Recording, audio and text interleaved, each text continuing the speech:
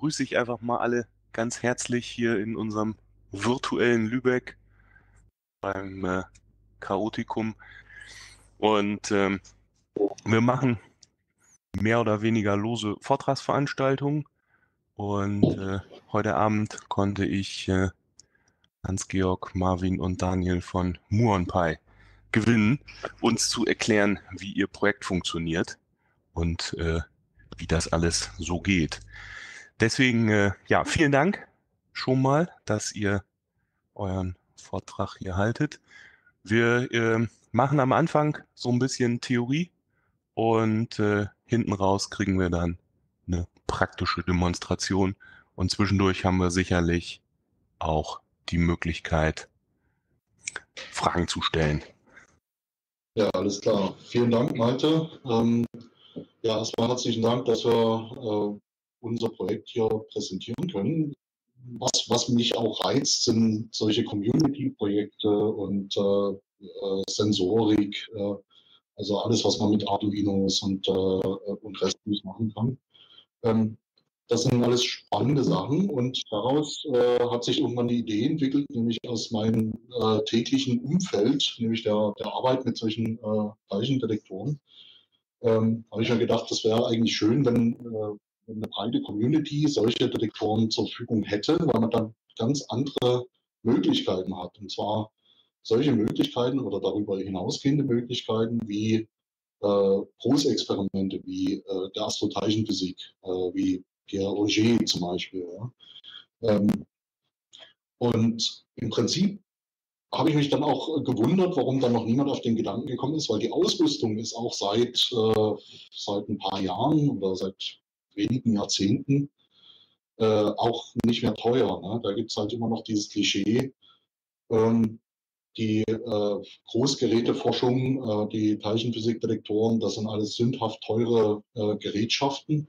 Da muss man halt irgendwie beim, beim Bundesministerium für Forschung und Bildung ein paar Millionen beantragen oder bei, bei der Europäischen Kommission äh, Fördergelder, äh, Fördergelder ein, äh, einwerben und dann kann man an einem Experiment bauen, äh, zum Beispiel am LHC, im CERN ähm, oder an anderen Großexperimenten und dann kauft man eben ganz, ganz teures Equipment. Aber das muss gar nicht sein. Man kann im Prinzip auch schon einen ganz einfachen äh, Aufbau äh, kompetitive Teilchenphysikdetektoren bauen. Und äh, daraus hat sich dann die Idee zusammen mit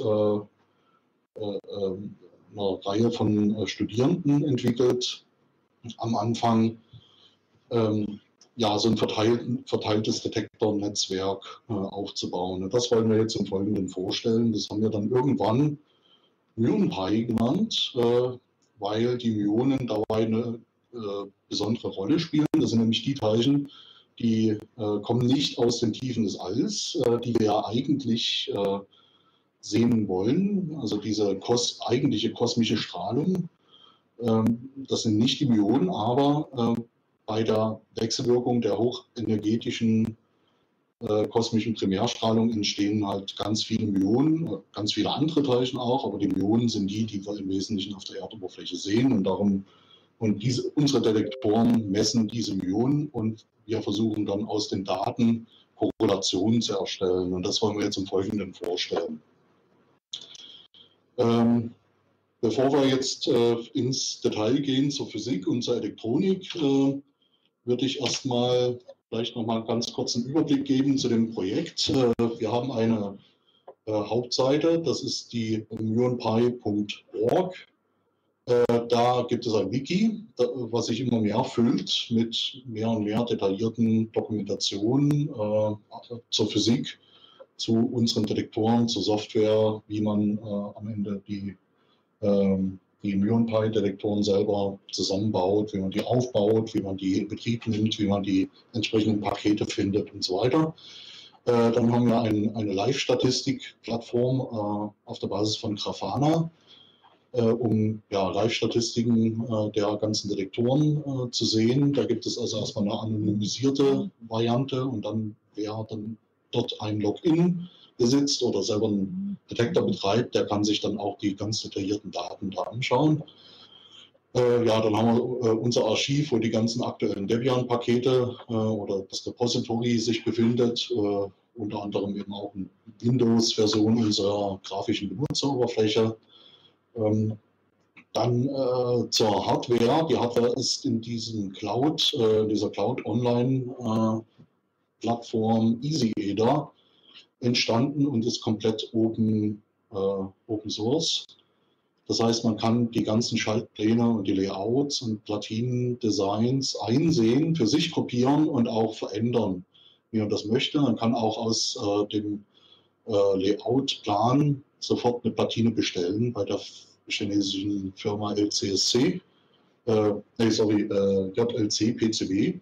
Das ist nämlich ein, eine Firma, die da angebunden ist an dieses System. Habe ich ein paar Mal ausprobiert mit verschiedenen Designs und das klappt eigentlich ganz gut. Ähm, ja, das sind Schaltpläne, die Layouts, auch Simulationen, Piece-by-Simulationen lassen sich da ganz gut machen. Habe ich auch äh, gestaunt. Äh, ja, man kann die PCBs äh, nachbestellen, man hat die äh, Bombs äh, und so weiter. Dann haben wir ein Software-Repository äh, auf GitHub, wo es verschiedene Stücke an Source Code gibt, auch alles Open Source. Ähm, das wird dann der Daniel am Ende ähm, noch äh, detaillierter erzählen, was es da alles äh, gibt. Dann sind wir unterwegs, neuerdings auch auf den Social Media Plattformen, äh, äh nämlich Twitter und Instagram und äh, ja, hm, aber ich glaube, Facebook werden wir, werden uns nicht zulegen. Mal sehen. Gut, ja, das sind so ein paar Screenshots äh, vom Wiki, von dieser EasyEder Open, Open Hardware Cloud-Plattform. Das ist so ein, so ein Beispiel für, für, so eine Live-Statistik. Äh, und äh, ja, da ist unsere äh, Homepage. Gut, damit würde ich jetzt an den Marvin übergeben, der uns etwas über kosmische Strahlung erzählen wird. Ja, hallo. Was wollen wir hier überhaupt messen? Ja? Also kosmische Strahlung da interessiert uns vor allem die extrem hochenergetische Strahlung. Das sind Teilchen ähm, jeglicher Art, meist Protonen, aber auch äh, schwerere Kerne, irgendwelche Photonen und alles, was eigentlich nicht so schnell zerfällt, die ähm, einen langen Weg im Weltall zurücklegen, um sich dann irgendwann eventuell, äh, ja, um irgendwann eventuell auf unsere Atmosphäre zu treffen, ja, und die kommen halt von überall her und die extrem hochenergetischen hauptsächlich von außerhalb unseres Sonnensystems. Und die haben eine so große Energie teilweise, 10 hoch 20 Elektronenvolt, das entspricht ungefähr der kinetischen Energie, die ein Baseball hat, er geworfen wird, hier zu sehen. Und das sind also makroskopische Energien, aber konzentriert auf einzelne Teilchen. Das kann man sich gar nicht richtig vorstellen. Und wenn diese Teilchen auf unsere Atmosphäre treffen, dann ja, erzeugen die im Prinzip in kosmischen Schauern, ja, die schauern so auf, ganz viele neue Teilchen, wie in einem ähm, Teilchenexperiment, wie zum Beispiel beim LHC, nur viel größere Energien und viel mehr Teilchen. Hier ist nochmal so dieses Spektrum auf, aufgezeigt. Also es gibt auch sehr niedrigenergetische Teilchen, auch durch den äh, die von der Sonne teilweise kommen, ja, ein solarer Wind. Hm, sieht man ja auch schön immer, wenn, wenn man zum Beispiel im Norden unterwegs ist, Polarlichter und so. Ähm, aber da sind wir eigentlich nicht so dran interessiert. Das ist, das sind die sehr langsamen Teilchen. Ähm, die extrem hochenergetischen Teilchen hier unten, daran sind wir interessiert. Und hier sieht man ganz gut, die, ähm, ja, Wahrscheinlichkeit bzw. der Fluss, also wie viele Teilchen pro Quadratmeter pro Sekunde bzw. pro Jahr auf die Erde treffen und was die für Energien haben. Und man sieht diese extrem hohen energetischen Events hier unten. Also man sieht hier bei 10 hoch 16 Elektronenvolt. Das sind immer noch vier Größenordnungen unter den Maximalenergie. Und das ist schon weit über der Energie, die wir künstlich erzeugen können an Teilchen. Und man sieht hier unten, was für Energie CERN hat. Ähm, maximal. Und da sind wir bei einem Teilchen pro, pro Quadratmeter pro Jahr. Das kann man, also das sind super, super seltene Events, die uns interessieren. Und um die halt zu messen, brauchen wir ganz viele Stationen.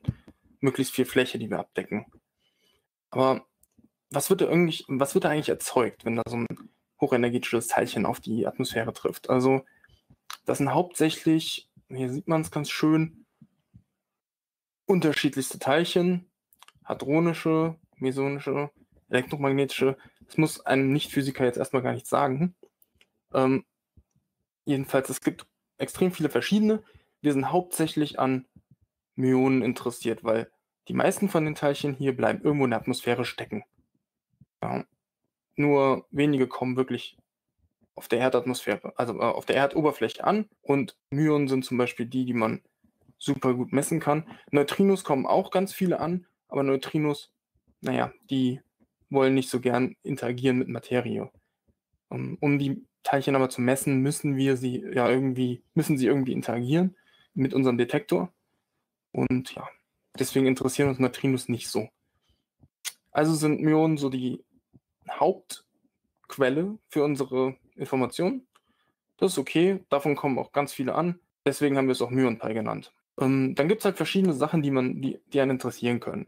Also wir wollen hauptsächlich Informationen über das Primärteilchen, also das, was am Anfang auf die Atmosphäre geprallt ist. Aber wir kriegen ja nicht das Primärteilchen. Das Primärteilchen ist weg. Das, das trifft auf die Atmosphäre, das reagiert, da, da ist nichts mehr von übrig. Das sind noch ganz viele neue Teilchen, die dann entstehen. Man sieht das hier schön in so einer Schauerfront, die sich ausbreitet. Das ist, keine Ahnung, Meter dick oder so.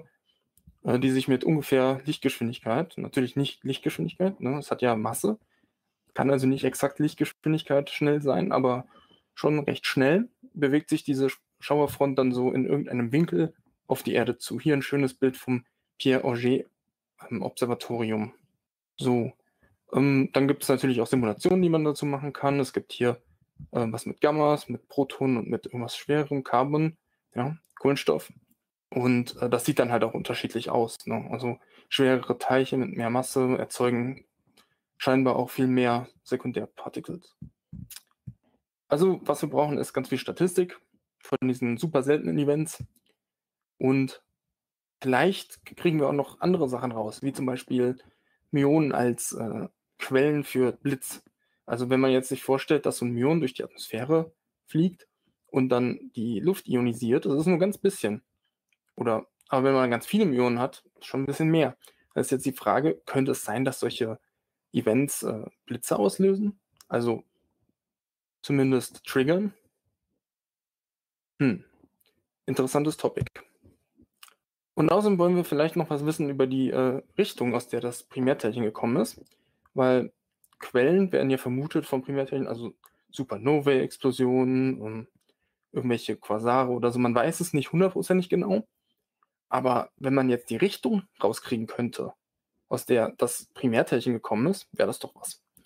Ähm, das kann man, wenn man die Zeit der Ankunft der Sekundärteilchen ganz genau kennt, dann kann man das zurückrechnen. Vorausgesetzt, man hat genug Stationen auf dem Boden.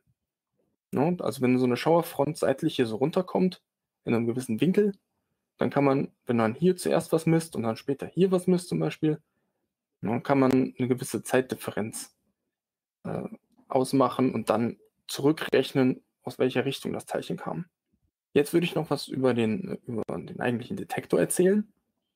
So sieht das ungefähr aus. Also ne, PCBs, schön bedruckt und mit viel Komponenten drauf. Das hier hinten, das ist der Szintillator, da komme ich später noch dazu.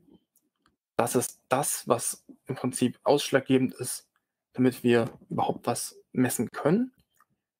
Ja, und hier haben wir noch äh, unser Preamp-Platine, äh, aber da komme ich gleich noch dazu. Übersichtshalber, unser System besteht aus einmal diesem Szintillator-Material, das ist verpackt, das ist so ein Material, wenn da ein Teilchen durchfliegt, dann ionisiert es das, das ähm, dann äh, wird die Energie umgewandelt in Licht, welches ein wenig äh, andere Wellenlänge hat als die äh, Energie, die aufgenommen wurde, das führt dann dazu, dass das Licht in diesem Plastik hier äh, frei hin und her fliegen kann, also die Photonen, und dann hier an den ZPMs detektiert werden können.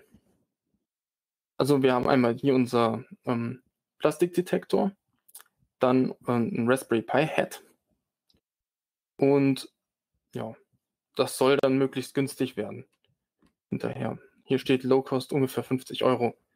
Das ist unser Ziel. Also ich hatte ja schon was gesagt zu dem Plastikszintillator. Licht wird emittiert, nachdem die Myonen da durchgeflogen sind, diesen Plastik ionisiert haben und dann mit der nachfolgenden Rekombination äh, ja, Licht erzeugt wird.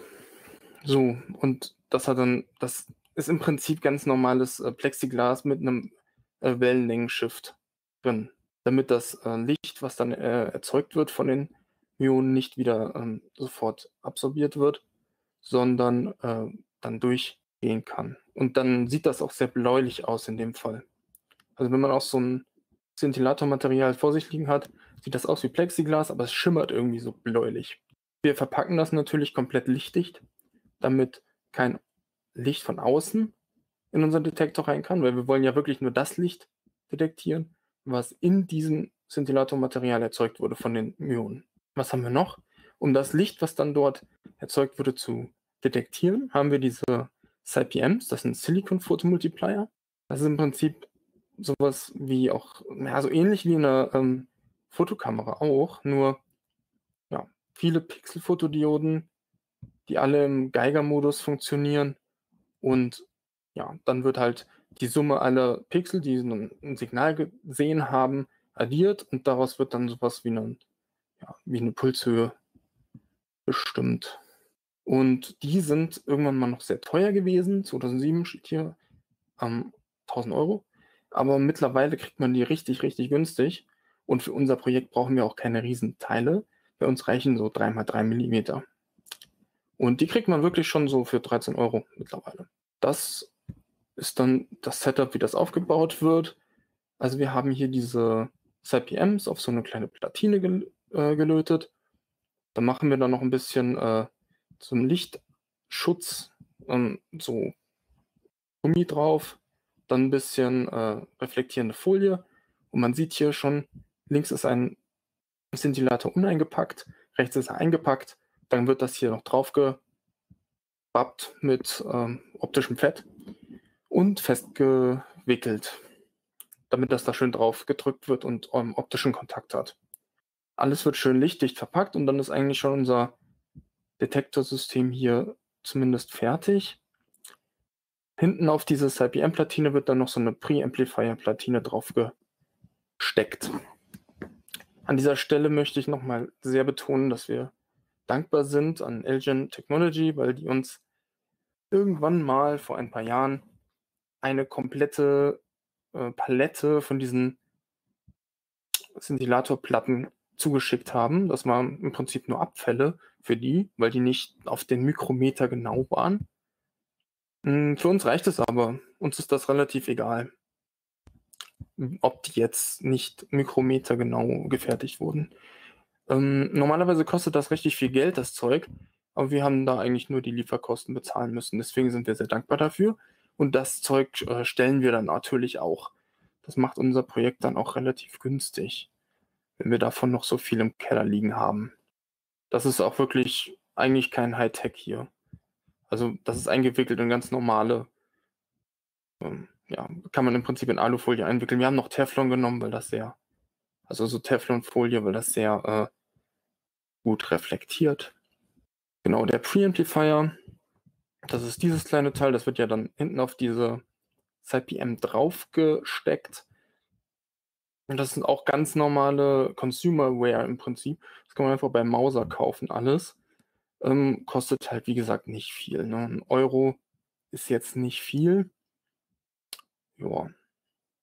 Da kann man auch alle möglichen verschiedenen Sachen mit verstärken, ob das jetzt Happy Amps sind, ob das Fotomultiplayer Tubes sind oder irgendwelche anderen Sachen, ist eigentlich egal. Hier sieht man nochmal so ein bisschen diese Readout-Elektronik, ein Schema davon. Also wir haben hier unsere CPM, die geht dann in diese Preamplifier-Board. Ähm, der Preamplifier wird versorgt durch ähm, ja, DC, was sind das, 5 Volt, glaube ich. hier über, das, über die Signalleitung. Ähm, einmal haben wir noch eine Spannungsversorgung für die CPM, die braucht Hans, ich glaube, waren das 30 oder 20 Volt? 32 Volt. Ja, genau. Genau. Und die wird auch auf unserem, auf unserem Headboard dann äh, erzeugt, diese Spannung. Ja, und was man hier sehen kann, ist, dass wir ähm, ein bisschen Signal Shaping machen. Wir digitalisieren das Signal und äh, machen Fast Discrimination. Also wir wollen von einem analogen Signal zu einem möglichst, also hier in der, in der Stufe hier, möglichst äh, gutes digitales Signal, was möglichst scharf ist, weil wir wollen ja eine gute Zeitauflösung haben, aber dazu komme ich gleich noch. Hier sieht man, dass wir einen Channel haben. Wir haben noch einen zweiten Channel, also man kann theoretisch zwei von diesen CPMs anschließen und man kann diese beiden Kanäle auch noch dann äh, verodern, also XOR oder AND oder einfach direkt durchleiten. Also haben wir hier so einen Multiplexer und ja. Das Signal kommt dann in unseren U-Blocks-Chip. Das ist so ein GPS-Modul. Das hat einen Interrupt-Eingang für ja, zur Erstellung von Timestamps. Also die, die Zeitgenauigkeit kriegen wir allein schon von diesem U-Blocks-Modul. Da komme ich gleich noch dazu. Ja, hier ist nochmal eine schöne Übersicht von dem, von dem äh, Head. Also das ist die Oberseite. Man sieht hier schön, glaube, auf der Seite sind die Eingänge, Channel 1, Channel 2. Hier hinten ist die ähm, Versorgungsspannung für die CPM, die da rauskommt. Und hier kommt das GPS-Kabel dran. Genau. Die Rückseite sieht so aus. Man kann das hier schön auf den Raspberry Pi draufstecken. Hier sind Löcher, um Schrauben zu befestigen. Kennt man ja. Genau, unser U-Blocks-Modul ganz normales äh, U-Blocks Neo M8 oder man kann auch M7 nehmen oder so. Also das ist relativ kompatibel miteinander. Und diese Teile sind richtig interessant, weil die eigentlich schon alles für einen selber machen. Die erzeugen im Prinzip schon Timestamps für uns.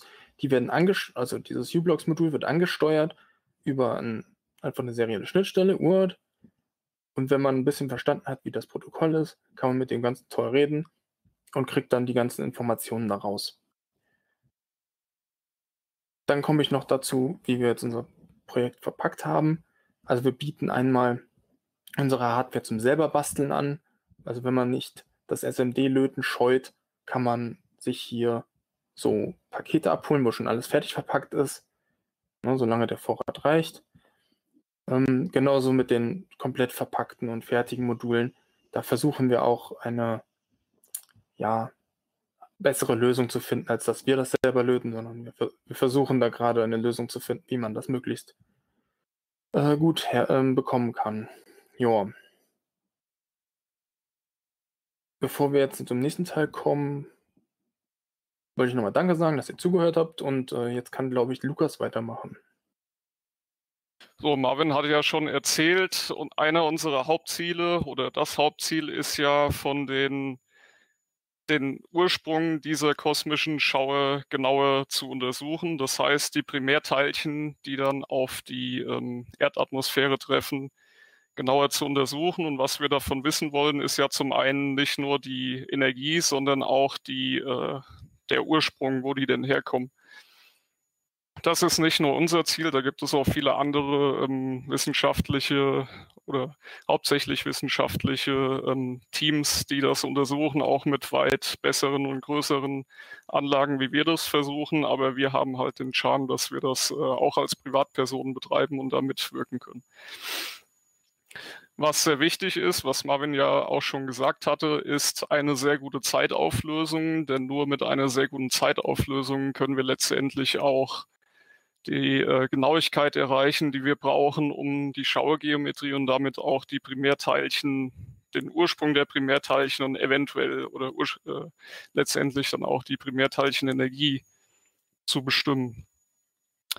Und ähm, wie genau bestimmen wir jetzt die Zeitauflösung, die wir erreichen können mit unserer Hardware? Das ist eigentlich relativ einfach. Was wir dazu brauchen, ist eine Kalibrierungsquelle und zwei unterschiedliche Detektorstationen. Und was sich als Kalibrierungsquelle anbietet, wenn wir jetzt keine radioaktive Quelle zu Hause neben oder unter dem Sofa liegen haben, nehmen wir einfach die Myonen, da wir die letztendlich sowieso messen wollen und die auch überall vorhanden sind.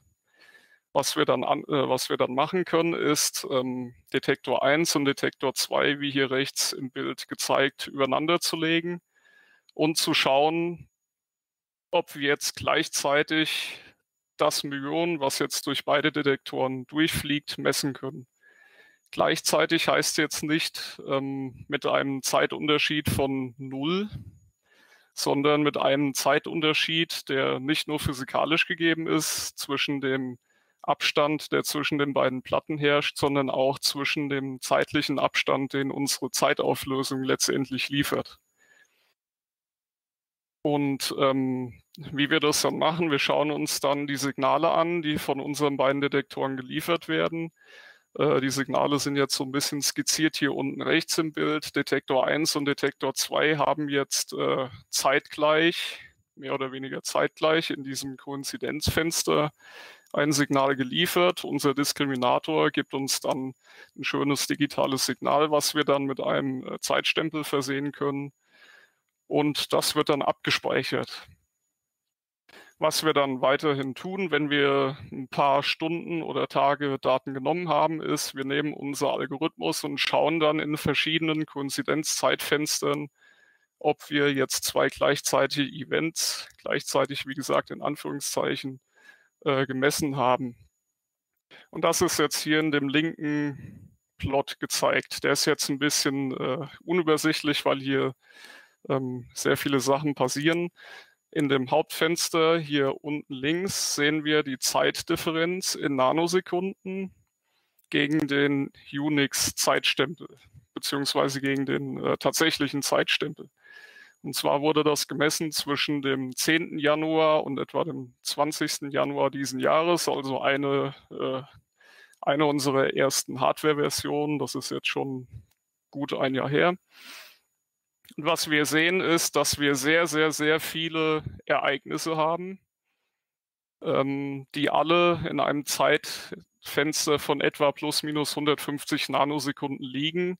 Und von denen können wir uns auch sicher sein, dass die koinzident beziehungsweise vom selben Myon erzeugt wurden, die dann durch denselben Detektor geflogen sind.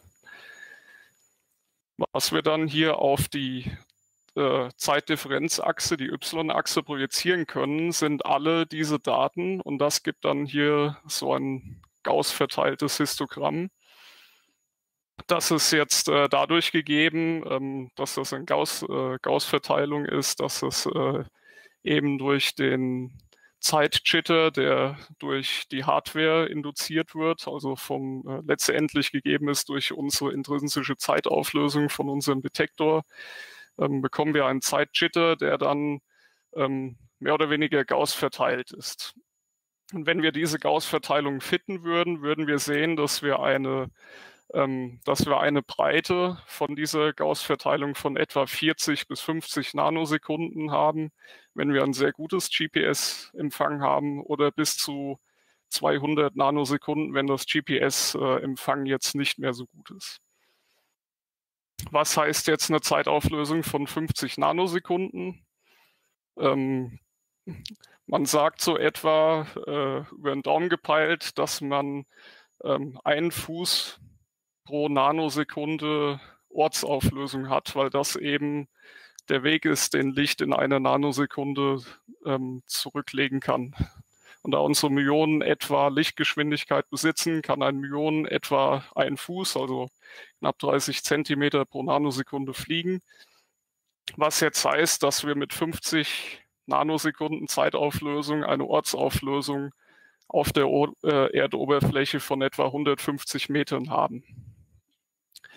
Das ist soweit schon relativ gut oder ziemlich äh, sehr gut ähm, mit äh, dieser Hardware, da das Man muss sich äh, eben vorstellen, dass diese beiden Detektoren mit zwei unterschiedlichen Raspberries betrieben wurden und abgesehen vom GPS-Signal ähm, keine Informationen weiter bekommen haben. Das heißt, die äh, hatten keine Informationen über das Internet oder sonst wo erhalten, sondern haben sich zeitlich nur über die äh, Satelliten synchronisiert. Den ähm, Time Walk, den, also den Zeitjitter, den kann man sich anschauen, wenn man hier ein bisschen reinzoomt. Hier haben wir jetzt einen ähnlichen Plot wieder mit äh, der Zeitdifferenz auf der einen Achse und die Zeit auf der anderen Achse mit der Projektion in dem rechten Plot. Da sehen wir, dass wir für einen sehr kleinen Zeitabschnitt eine Verteilung haben, die nicht mehr ganz gaussartig aussieht und hier neben auch noch so eine kleine Verteilung haben, die dann eben dadurch kommt, dass unser Walk, also unser Jitter, der durch das, äh, ja, durch den Detektor an sich ähm, verursacht wird, dass unser, unsere perfekte Zeitauflösung dadurch eben so verschmiert wird, was dann letztendlich in diese 50 Nanosekunden Zeitauflösung resultiert. Was können wir damit noch machen? Natürlich, wir können die Detektoren nicht übereinander legen, sondern nebeneinander legen. Und was können wir uns damit anschauen? So, jetzt haben wir die Detektoren nebeneinander. Jetzt können wir uns nicht mehr ein Teilchen anschauen, was durch beide Detektoren gleichzeitig fliegt, sondern Teilchen anschauen, die eventuell vom gleichen Ursprung kommen, aber zeitgleich ähm, beide Detektoren durchdringen und zwar immer noch im selben Zeitfenster. Das ist jetzt hier gezeigt ähm, auf der der Detektorabstand hier für diesen Plot beträgt etwa zwei Meter. Und was wir hier sehen können, ist, dass wir eine sehr große Anhäufung in diesem blauen Band finden. Und dieses blaue Band habe ich so eingezeichnet, dass es das angibt, äh, welche ähm, Ereignisse physikalisch sinnvoll sind. Das heißt, die Events, die innerhalb von diesen zwei Metern quasi ähm, in den beiden Detektoren mit demselben Ursprung ähm, gemessen werden können. Wenn wir jetzt zum Beispiel Events haben, die einen Zeit, äh, Zeitabstand von 800 Nanosekunden haben, dann ist es physikalisch nicht sinnvoll, da es kein, keine Trajektorie gibt, die innerhalb von 800 Nanosekunden durch den einen Detektor und dann durch den anderen fliegen könnte. Deshalb ähm, kann man hiervon sehr stark davon ausgehen, dass alle Events oder jedenfalls der Großteil Events äh, physikalisch vom selben Ereignis kommen. Was dementsprechend auch heißt, dass alle im selben Schauer vorkommen. So, jetzt können wir die Detektoren weiter auseinanderstellen. Im nächsten Plot habe ich oder haben wir gemessen einen Abstand von 120 Metern.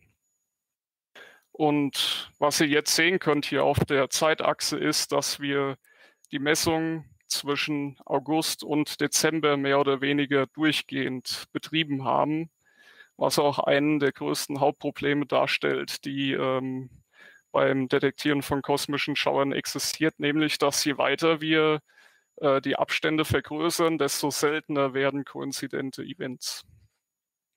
Hier gilt das Gleiche. Im blauen Band sind alle physikalisch ähm, sinnvollen Events geplottet und wir sehen hier ein deutliches ähm, Ansteigen unseres Signals vom Untergrund. Und der Untergrund hier ist statistisch gleichmäßig. Das heißt, zufällige Events, die durch beide Detektoren gleichzeitig fliegen, aber nicht vom selben Ursprung kommen. Das kann nicht nur Untergrundstrahlung sein, sondern auch Myonen, die von zwei unterschiedlichen ähm, Ursprüngen oder von zwei unterschiedlichen Quellen kommen. Dieser Untergrund ist überall auf der Erde gleich und dieser Untergrund wird überall in den Detektoren gleich gemessen. Wir können sehen, dass für 120 Meter der Untergrund und das Signal schon sehr nahe kommen. Und wenn ich jetzt hier in die nächste Folie gehe, für 500 Meter sehen wir, dass erstmal sehr viele Events überall da sind, weil, der, äh, weil die Zeitdifferenz auf der Y-Achse ähm, der, äh, der Rahmen sehr groß geworden ist, plus minus 32 Mikrosekunden.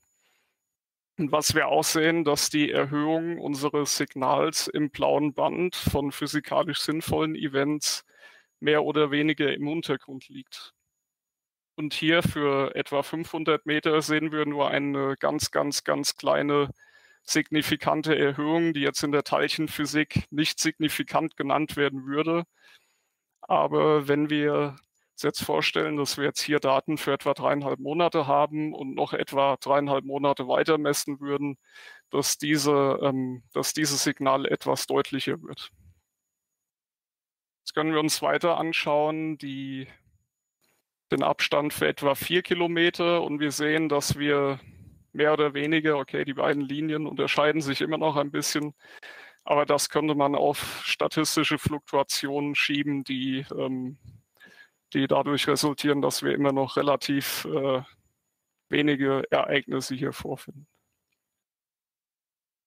Wenn wir jetzt diese Erkenntnisse sammeln und in einem Plot eintragen würden, können wir auf der linken Achse zeigen die Koinzidenz-Zählrate in Hertz und auf der x-Achse den Abstand zwischen dem Detektorpaar. Zum muss man beachten, dass beide Achsen äh, logarithmisch aufgetragen sind. Das heißt, im ersten Abschnitt haben wir nur einen Abstand von, ähm, von 10 Zentimeter bis 1 Meter aufgetragen. Dann von 1 Meter bis 10 Meter, von 10 Meter bis 100 Meter und von 100 Meter bis 1000 Meter. Und dementsprechend auch auf der Y-Achse nimmt ähm, die Zählrate logarithmisch ab. Und ähm, ein Zusammenhang, den wir jetzt hier ähm, mutmaßen können, ist ein, eine Art doppellogarithmische Abnahme der Zählrate vom Abstand. Das heißt, wenn wir dem Abstand um den Faktor 10 vergrößern, wird sich die Zählrate um den Faktor 10 verkleinern. Und das ist auch eines der Hauptprobleme für diese Art der Messung, dass wir wirklich sehr, sehr, sehr lange messen wollen, für große Abstände, ob wir wirklich noch ein, äh, ein Signal hier sehen können. Und dieser Messpunkt hier, den ich auch eben gezeigt hatte, ähm, konnten wir nur hier eintragen, da wir, ähm, ja, da wir etwa vier bis fünf Monate durchgängig messen konnten mit den Stationen. Ähm, nicht alle Punkte liegen jetzt hier auf dem äh, auf der Vorhersage drauf. Das liegt jetzt daran, dass ähm, natürlich nicht nur die ähm, Koinzidenzzählrate durch die, ähm, durch die Rate der Millionen an sich gegeben ist, sondern auch durch die Art, wie man den Detektor betreibt. Man kann nämlich ähm, mithilfe des äh, Hardware-Thresholdes einstellen, wie groß die Zählrate ähm, im Detektor jetzt sein soll. Das hat jetzt ähm, detektortechnische Gründe, dass man zum Beispiel nicht im Rauschen der Fotodiode liegen will, ähm, oder auch die Detektorzählrate nicht zu groß machen will, damit äh, der U-Blocks-Chip, der ja das Zeitstempeln vornimmt, ähm, dass der noch alle Events ähm, zeitstempeln kann. Um diesen Plot jetzt etwas schöner machen zu wollen, müsste man die Zählrate eines einzelnen Detektors sehr stabil halten und das wird auch in der Zukunft geplant. Das heißt, ähm, dieser Plot wird in der Zukunft natürlich ständig geupdatet, da wir immer mehr Daten auch von immer mehr ähm, Detektorabständen jetzt auch mit unserem wachsenden, mit unserer wachsenden Community auch sehr viel größeren Abständen bekommen werden. Wie sieht jetzt ein Event aus, der bei uns in der Datenbank landet? Zum Beispiel haben wir jetzt ein Event vom Juni hier schematisch dargestellt, wo drei Detektoren zeitgleich oder im physikalischen Rahmen zeitgleich ein Event gemessen haben. Und zwar war das in Gießen zwischen der Universität und zwischen äh, Hans-Georgs Doppelstation, die er bei sich zu Hause aufgestellt hatte. Der Abstand betrug dort etwa 3,4 Kilometer und wir können sehen, dass für den auslösenden Detektor zum Zeitpunkt t gleich 0 und den beiden Einzelstationen, die jetzt mehr oder weniger zeitgleich mit einem Abstand von etwa neun ähm, Nanosekunden ein Event gemessen haben. Und wenn wir jetzt uns anschauen, wie groß dieser Zeitabstand ist und umrechnen, wie schnell Licht diese Strecke von 3,4 Kilometern zurücklegen kann, finden wir heraus, dass das, äh, dass das Event physikalisch möglich ist. Und dann können wir auch sogar mit Trigonometrie ein paar Rechnungen anstellen und uns anschauen, wie in etwa diese Schauerfront aussehen könnte, die dann zuerst im Detektor 0 und dann im Detektor 1 und 2 ähm, auftreffen könnte. Das ist natürlich nur eine Mutmaßung. Wir brauchen noch sehr, sehr viele mehr Detektorstationen, um die Geometrie tatsächlich ähm, genau zu bestimmen. Aber das ist jetzt nur ein Vorgeschmack für die äh, Ereignisse, die wir später noch ähm, messen können, beziehungsweise dann auch zeigen können. Auf der anderen Seite, was kann ein einzelner Detektor tun? Ähm, was wir eingebaut haben, ist nicht nur ein akkurates Zeitstempeln, sondern auch eine Messung der Pulshöhe. Und zwar die Pulshöhe ist direkt äquivalent zur deponierten Energie des Myons im Detektor. Die deponierte De äh, Energie im Detektor kann man physikalisch ähm, äh, berechnen mit der Bethe-Bloch-Formel die generell das Energieverlust oder den Energieverlust für geladene Teilchen in Materie ähm, bestimmt. Und ähm, das hängt nicht nur von der Energie des äh, Teilchens ab, sondern auch von der Dichte des Materials und von der Dicke des Materials. Und ähm, was wir hier gezeigt haben in diesem Plot hier ist ein Histogramm der gemessenen Pulshöhen für verschiedene, Event, äh, für verschiedene Events. Und was wir hier sehen, ist eine sogenannte Landau-Verteilung, welche eine, ähm, eine Verteilung ist, die sich dadurch ergibt, indem man den Energieverlust, den man aus der Bethe-Bloch-Formel bekommt, mit einem Gauss faltet. Der Gauss, der kommt aus der ähm, Detektorauflösung, also jetzt nicht Zeit, sondern Energieauflösung. Und äh, diese Faltung ergibt dann ähm, diese Verteilung hier. Und wenn wir diese Verteilung mit ähm, Hochenergiedetektoren äh, uns anschauen, dann sehen die nicht nur ähnlich aus, sondern äh, folgen natürlich den gleichen physikalischen Grundlagen und äh, sind äh, natürlich sehr gut vergleichbar. Was wir hier sehen können, der Unterschied, ich habe ja eben schon vom äh, Hardware Threshold gesprochen. Der Hardware Threshold schneidet effektiv alle Events mit Pulshöhen ab, die unterhalb des Thresholds liegen. Und diesen Threshold sehen wir ganz gut angedeutet hier. Und ähm, wenn wir diesen Threshold nicht einsetzen würden, würden wir hier diese kleine Flanke, die hier links hochgeht, als ähm, exponentiell abfallendes Detektorrauschen feststellen.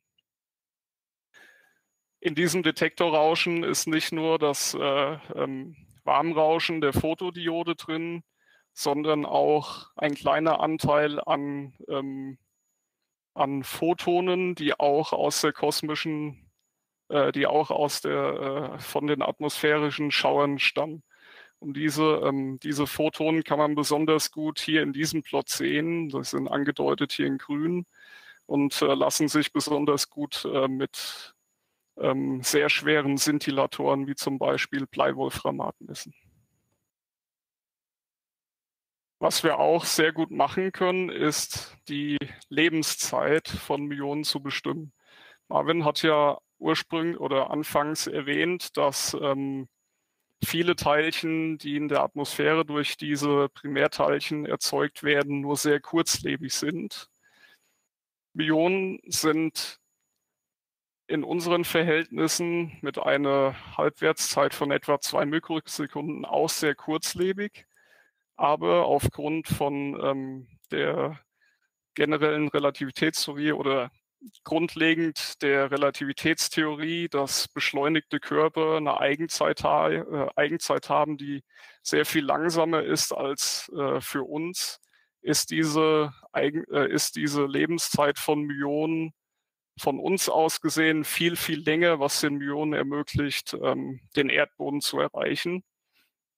und dann erst zu zerfallen, wenn sie zum Beispiel in irgendeinem Material stecken bleiben, wie zum Beispiel hier im Tisch. Was dann passiert ist, wir bekommen ein erstes Signal, wie hier unten angedeutet, wenn das Myon durch den Detektor fliegt und dann im Tisch stecken bleibt. Und dann, da das Myon sich im Ruhezustand befindet, die Halbwertszeit von etwa zwei Mikrosekunden zerfällt und dann die Zerfallsprodukte, äh, ein Elektron und ein Elektron-Neutrino ähm, quasi emittiert.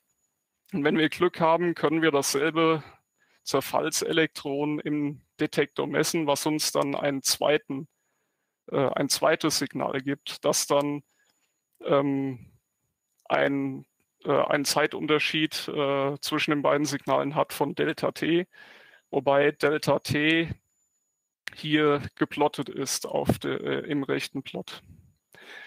Was wir hier sehen, ist auch wieder ein logarithmischer Plot auf der y-Achse und zwar ein Histogramm, also eine Anzahl der Einträgen pro gemessenen Zeitintervallen. Und wenn wir diese Zeitintervalle mit einer Exponentialfunktion fitten und uns diese Zeitkonstante anschauen, finden wir, dass wir in etwa die Zeitkonstante messen, ähm, die auch vorhergesagt bzw. professionell gemessen wird, nämlich etwa 2 bzw. 2,2 Mikrosekunden.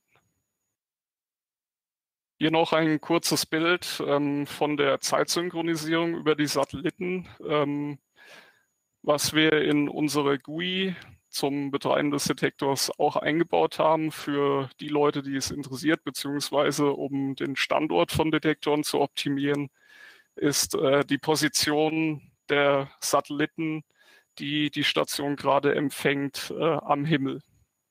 Und was wir sehen können, ist einmal in Polkoordinaten und eine projizierte Darstellung der Satellitenbahn, wie sie ähm, am Horizont beziehungsweise am Himmel verlaufen können. Und so kann das aussehen, wenn wir das dann für längere Zeit messen. So, falls jetzt noch Fragen zu den ersten Messungen da sind, die wir, äh, die ich hier vorgestellt bzw. die wir vorgestellt haben, dann äh, könnt ihr gerne fragen.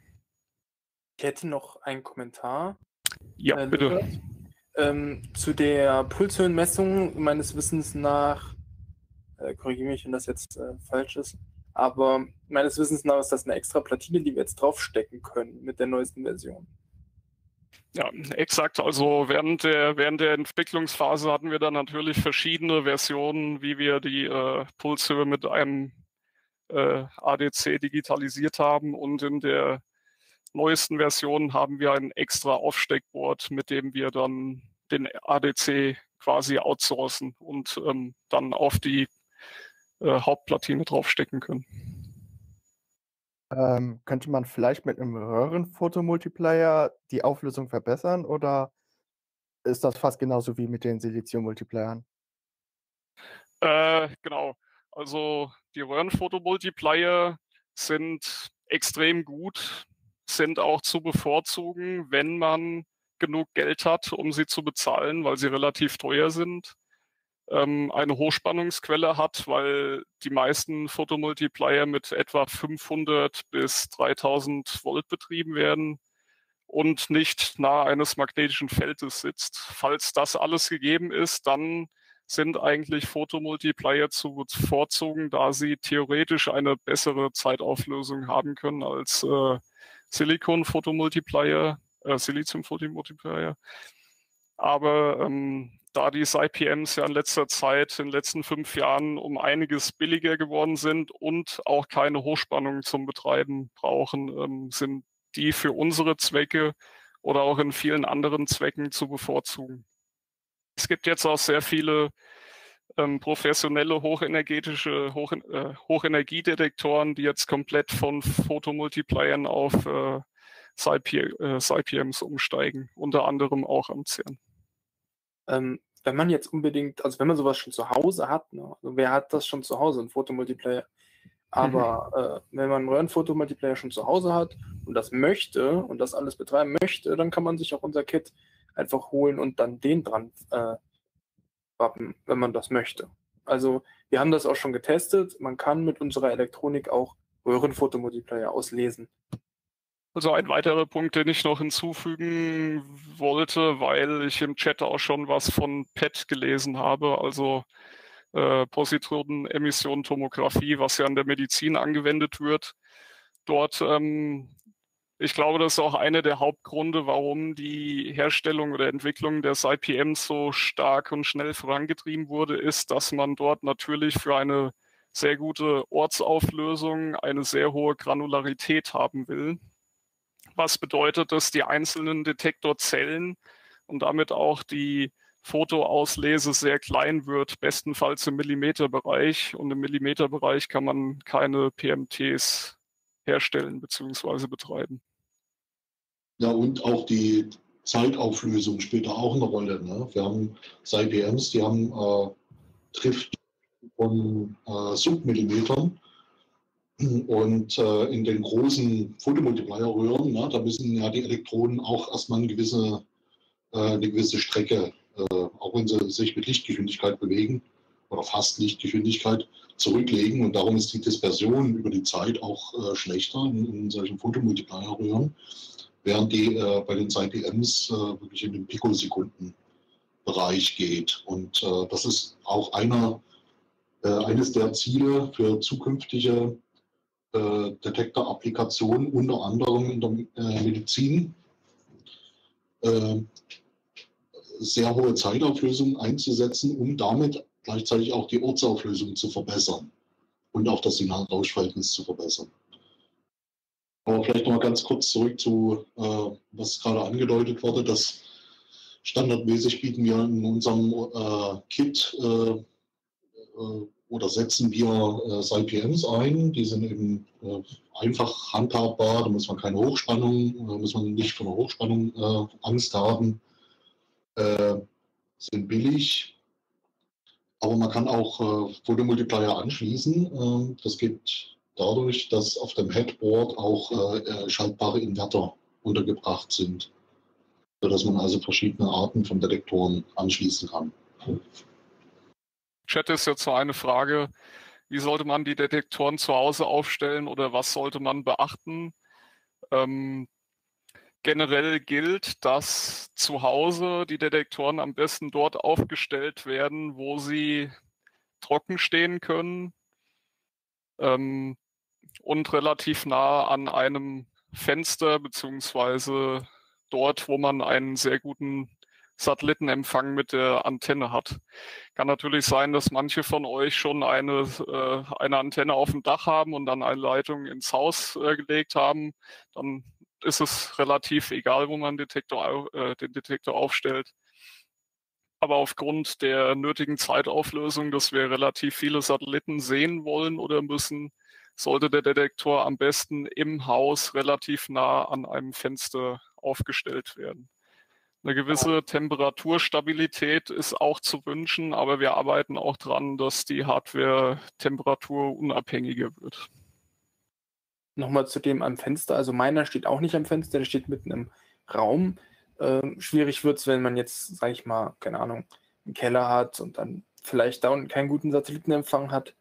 Ähm, ja, um die Daten irgendwie zu uns zu schicken, wäre dann natürlich auch Internet ganz praktisch. Es ist, glaube ich, egal. Der blinkt halt auch, äh, wenn man die LEDs nicht runterlötet. Äh, vielleicht nicht unbedingt dann im Schlafzimmer. Ja, das, äh, das stimmt. Der blinkt zum einen einmal pro Sekunde für zum Anzeigen, dass wir ein GPS-Fix haben, also ein Puls per Second Signal heißt das. Und unter anderem dann auch pro Channel, dass wir ein Signal sehen. Und wenn wir eine Signalrate von 4 Hertz haben, dann ist das viermal pro Sekunde. Das kann schon relativ nervig sein oder hell sein oder ähm, unter Weihnachtsbaum oder im Weihnachtsbaum macht sich das natürlich ganz gut als äh, Dekoration. Ähm, also den, den Myonen ist es erstmal egal, wie tief unter der Erde. Also wenn man das jetzt nicht einen Kilometer unter einem Bergmassiv oder so hinstellt, äh, sollte das immer noch äh, kein Problem sein. Also die, der Szintillator, also die Myonen kommen durch die Decke, das ist gar kein Problem. Ähm, GPS-Empfänger muss nicht direkt zum Satelliten gucken. Das ist äh, den einfach irgendwie, also meine hängt, glaube ich, einfach äh, über dem Schrank. runter. Das ist gar kein Problem. Wenn es jetzt keine Fragen mehr zum Kapitel davor gibt, dann würde ich ein bisschen was über die Software erzählen. Genau, da gibt es erstmal, äh, was wir für Online-Services haben. Da haben wir einmal ein Forum, einfach so ein bisschen zum Erfahrungsaustausch und äh, da gibt es auch eine, eine, kleine FAQ drin. Ähm, dann haben wir ein Ticketsystem, das heißt, wenn man irgendwie Fragen an uns hat, äh, wenn, man, wenn man zum Beispiel einen Detektor aufstellen will bei uns zu Hause, dann äh, kann man eben Ticketsystem ein Ticket öffnen und dann kümmern wir uns darum, dass es dann wirklich zeitnah auch passiert. Ähm, genau, dann die ganzen Daten der Detektoren, die kann man sich in Grafana anschauen. Da ähm, gibt es dann auch die Möglichkeit, seinen eigenen Detektor, falls er stehen hat, sich die eigenen Daten anzuschauen. Äh, dann gibt es Nextcloud, da haben wir so ein bisschen äh, zum Beispiel Paper zu dem Thema und, und so generelle, ähm, also auch, auch, auch Plots von uns und generelle Daten, die wir halt so, ähm, die über uns anfallen, werden da auch draufgestellt. Und dann haben wir dazu noch ein Wiki, da sind nochmal alles erklärt. Ähm, Im Prinzip so ein bisschen zusammen mit dem Forum auch. Und dann gibt es noch einen Mail-Server, das heißt, bei uns kann man sich auch dann eine Mail holen und prinzipiell auch über den, die extra Oberfläche gibt es auch einen Webmailer dann. Und das Schöne ist, das ist alles über LDAP angeschlossen, das heißt, man braucht nur einen Account. Dann erstmal jetzt zur Software auf den Raspberry Pis. Ähm, die, die Daten, die werden per MQTT vom, vom äh, Raspberry Pi an unseren Server gesendet und dann da weiterverarbeitet. Zusätzlich gibt es die Möglichkeit, ähm, eine, eine, eine Remote-Verbindung zu dem, zu dem Daemon aufzubauen und den Daemon dann fernzusteuern. Also zum Beispiel über seinen Computer, über eine grafische Oberfläche, wenn man jetzt nicht äh, mit der Kommandozeile vertraut ist ähm, und, und, und, und noch nicht so gerne in Config-Dateien rumspielt, dann äh, gibt es da auch eine grafische Oberfläche. Der Daemon selber, der läuft auf dem Raspberry Pi der spricht äh, erstmal mit dem U-Blocks über eine serielle Schnittstelle. Also, ähm, und kriegt dann darüber dann auch die, die, die zeitlichen Daten. Ähm, über IKC gibt es auch eine Verbindung. Und zum Pfad zum Beispiel zur Einstellung der vorhin auch, meine ich, schon erwähnten ähm, Preisspannungen für die, für die IPMs gibt es äh, DAX und die kann man über, über IKC einstellen. Und da gibt es noch so ein paar andere Verbindungen äh, zu den verschiedensten äh, Geräten auf dem, auf dem Aufsteckboard. Ja, das ist nochmal so ein bisschen die grafische Oberfläche. So sieht die aus, die nochmal die Seite, wenn man startet. Und das sieht, da kann man auch schon selber schön, zum Beispiel wie auch vorne schon, vorhin schon gezeigt, die, die, ähm, diese Landeverteilung äh, sehen, wenn man, wenn man lang genug wartet. Genau ja, wie das, wie das insgesamt aussieht, unsere Infrastruktur der Software, ist, dass der Detektor über MQTT an, an dem Broker hängt und der schreibt das dann in, in den InfluxDB rein. Und von InfluxDB raus wird es natürlich in die Grafana überspielt und, und wir machen die Analyse. Das ist auch so ein kleines Problem noch, ähm, weil wir zur, zur Bestimmung der Koinzidenzen einzelner Events äh, müssen wir im Moment noch uns die Datenbank anschauen und dann wieder zurück in die Datenbank schreiben. Und das ist natürlich bei einer großen Eventzahl relativ äh, aufwendig und belastet die Datenbank ziemlich. Ähm, und genau deshalb haben wir auch ein neues Design für unsere Softwareinfrastruktur entwickelt, die ein bisschen äh, angenehmer für den Server ist. Zum einen ist die Idee, dass wir ähm, die Events, bevor sie in, in, die Datenbank reinkommen, schon mal vorfiltern in, in, in Echtzeit. Das heißt also von Einzeldetektoren werden die dann über einen Filter gejagt, der dann sich die Events anschaut. Und zusätzlich, wenn man noch, noch dichte Cluster irgendwo stehen hat, dann haben die einen ihren, ihren eigenen Vorfilter, damit der Filter vom Server nicht, nicht so viel arbeiten muss. Und damit muss dann auch nicht mehr die die Analyse-Software äh, wieder zurück in die Datenbank schreiben, sondern kann nur noch rauslesen. Das ist aber noch in Arbeit. Das, ähm, wann das genau fertig ist, das wissen wir nicht so genau, aber wir versuchen das möglichst schnell hinzubekommen, äh, weil wir auch schon langsam merken, wir haben jetzt circa 15 Detektoren laufen. Da merken wir schon langsam, dass das mit Analyse-Software relativ rechenaufwendig wird für so einen Server. Deshalb versuchen wir da lang, äh, möglichst schnell das hinzubekommen. Äh, ganz wichtig für uns sind auch Simulationen. Ähm, nämlich wir wollen zur, zur, zur, zur Bestimmung von, von Koinzidenzen oder zur Koinzidenzmessung müssen wir auch irgendwie wissen, nach, nach was für Daten wir gucken müssen und ähm, wollen ja auch Vergleiche haben. Also wir, wir wollen ja nicht, nicht äh, quasi blind in den Daten suchen, sondern wir wollen ja auch ein bisschen äh, wissen, wie dann genau so ein Event aussehen kann. Und dafür sind wir halt auch. Da gibt es hier mal so eine kleine Übersicht, wie so ein Schauevent simuliert aussieht. Das ist nicht von uns gemacht, die Simulation, sondern die ähm, kommt vom Corsica-Projekt. Also Corsica, das ist ähm, eine, eine, eine, Simulationssoftware, ähm, hauptsächlich ähm, Karlsruhe Institute for Technology, meine ich, heißt es, entwickelt. Auch speziell zur, zur, zur Simulation von solchen hochenergetischen Schauern. Das ist jetzt ein, ein Schauer, der resultiert hat aus einem, aus einem Proton mit 10 hoch 11 Elektronenvolt Primärenergie. Also das sind dann 100 äh, GeV Primärenergie knapp. Ähm, dann hieß es nochmal dann direkt, direkt auf gleich, einfach noch zu zwei größeren schauen. Also der hat schon dann äh, 10 TV Primärenergie und dann nochmal 10 auf 15, also das sind dann, ähm, ist dann ein sind 100 PV, TeV, beziehungsweise hier sind, ist schon ein PV. Ähm, genau, also sieht man schon, dass die Größe der, Schau der, Schauerradius schon deutlich zunimmt mit der Energie. Und das ist jetzt nur für ein Proton. Wenn man sich äh, nochmal die Schauer anschaut für, für, für größere Kerne, dann, dann ist der Impact nochmal deutlich größer.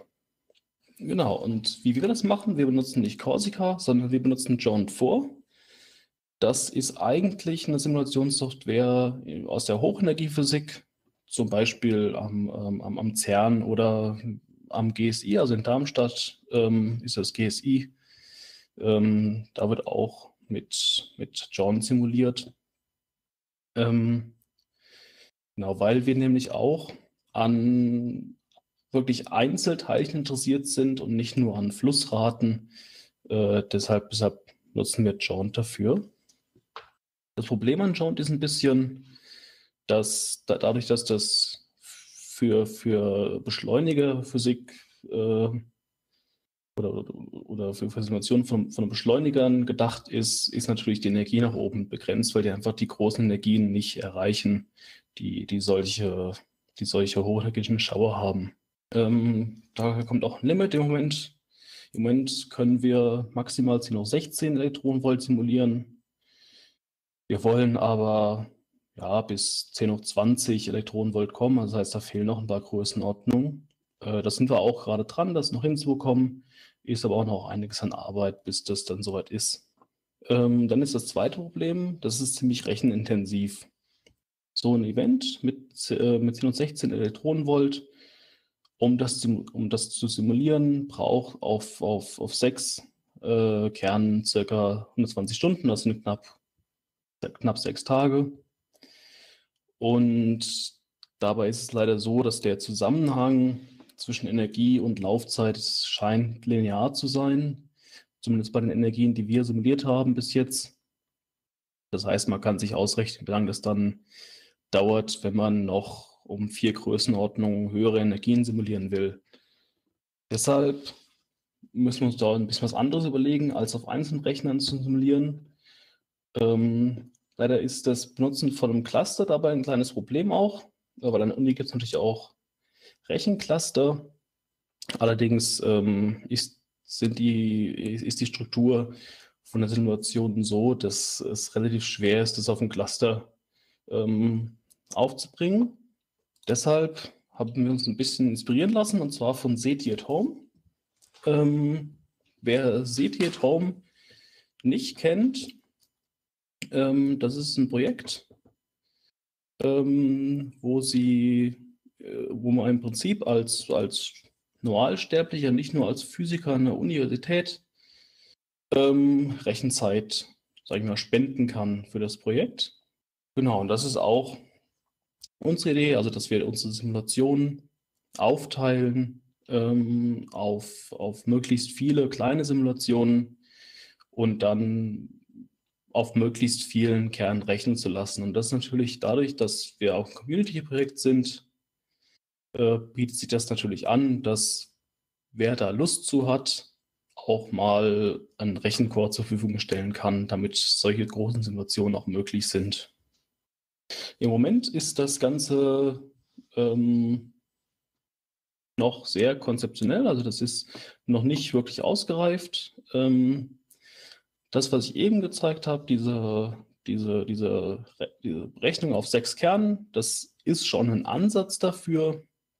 Sprich, das ist schon eine Aufteilung in kleinere Simulationen. Allerdings ist da die ganze Infrastruktur für, Entschuldigung, da ist die ganze Infrastruktur für, für ein ganz verteiltes Rechnen noch nicht gegeben. Ähm so, genau, wie die Idee dahinter ist, man hat im Prinzip so, ein, so einen Scheduling-Server, in dem man eine Simulation reinsteckt. Der teilt dann selbstständig auf und schließt es auch an ein, an ein institutsinternes Cluster an, wo natürlich auch ein bisschen gerechnet wird. Aber hauptsächlich ist die auch, dass wenn Leute Lust auf Citizen Science haben, ähm, dass sie auch Rechenkerne zur Verfügung stellen und dass dann der Scheduler auch äh, Simulationen an, an externe Rechennodes gibt. Dafür brauchen wir auch tatsächlich Unterstützung. Also das ist ziemlich viel Programmierarbeit. Und dadurch, dass wir auch ein relativ kleines Kernteam nur sind, ähm, ist es natürlich für uns relativ schwierig, so ein doch recht ambitioniertes Projekt zu programmieren. Das heißt, wer irgendwie Programmiererfahrung hat oder Lust darauf hat und gerade auch C++-Erfahrung hat, ähm, der ist da auch herzlich eingeladen, zu äh, mitzuarbeiten und mitzumachen. Ja, ein anderes Entwicklungsprojekt, das, was wir gerade verfolgen, ist äh, die direkte Messung von primären Teilchen auf Satelliten. Nämlich, äh, was wir bis jetzt machen, ist nur eine ganz indirekte Messung der, der, der Millionen, die am, die am Erdboden ankommen. Aber es wäre natürlich sehr interessant, auch direkt die, die Primärteilchen messen zu können. Und dadurch haben wir gerade ein Entwicklungsprojekt, wo, äh, wo auch ein, ein, ein auf Singulatoren basiertes äh, Detektorgerät auf, auf hauptsächlich Mikrosatelliten verbaut wird, um genau das zu messen. Das ist aber auch noch in einer sehr, sehr frühen Phase. Also das wird auch noch da wird noch einige Zeit ins Land gehen, bevor das äh, reif ist und, und, und einsatzfähig ist. Wer, wer Lust hat mitzuarbeiten, unser GitHub-Projekt ist hier auch zu finden. Ähm, und wer jetzt speziell sich an uns wenden will zur, zur Entwicklung, zur Programmierung, da gibt es hier dann eine E-Mail-Adresse, da kann man sich melden. Gibt es dazu im Speziellen auch noch Fragen? Äh, ich sehe gerade im Chat, also die Datengröße ist nicht so das Riesenproblem. Es ist einfach das hauptsächliche Problem, dass die, ähm, dass es einfach sehr, sehr viele Interaktionen zu berechnen gibt. Die, die einfach die, die, die schiere Zahl der, der, der Interaktionen nimmt einfach mit der Energie auch zu. Bei niedrigen Energien, die gehen meistens relativ schnell, die Simulationen, aber bei den hohen Energien, da fängt das dann an, und man muss sehr, sehr, sehr viele Sachen beachten und einfach sehr viele Teile simulieren. Ich hätte noch eine Frage und zwar, wo kann man die Sets bestellen und wie viel werden sie kosten? Das ist im Moment, äh, zum Beispiel, ihr könnt uns einfach an support.mirror.org eine Mail schreiben und uns einfach danach fragen und dann melden wir uns einfach bei euch. Es gibt aber auch die Möglichkeit, wie wir vorhin schon einmal, genau, also im, im Ticketsystem, ähm, das ist auf ticket.mirror.org da kann man auch direkt ein, ein Ticket erstellen, wenn man so einen Detektor haben will. Kosten ist ungefähr auch in der Größenordnung, wie ein, wie ein Raspberry Pi kostet, also in der Größenordnung 50 Euro knapp.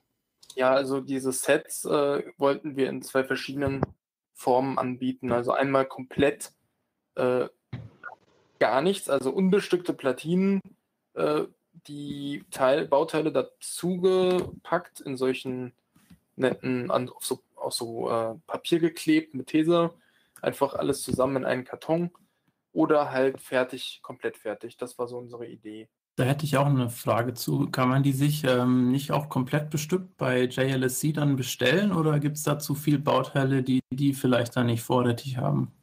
Hans, weißt du da, äh, ob man sich das da bestellen kann?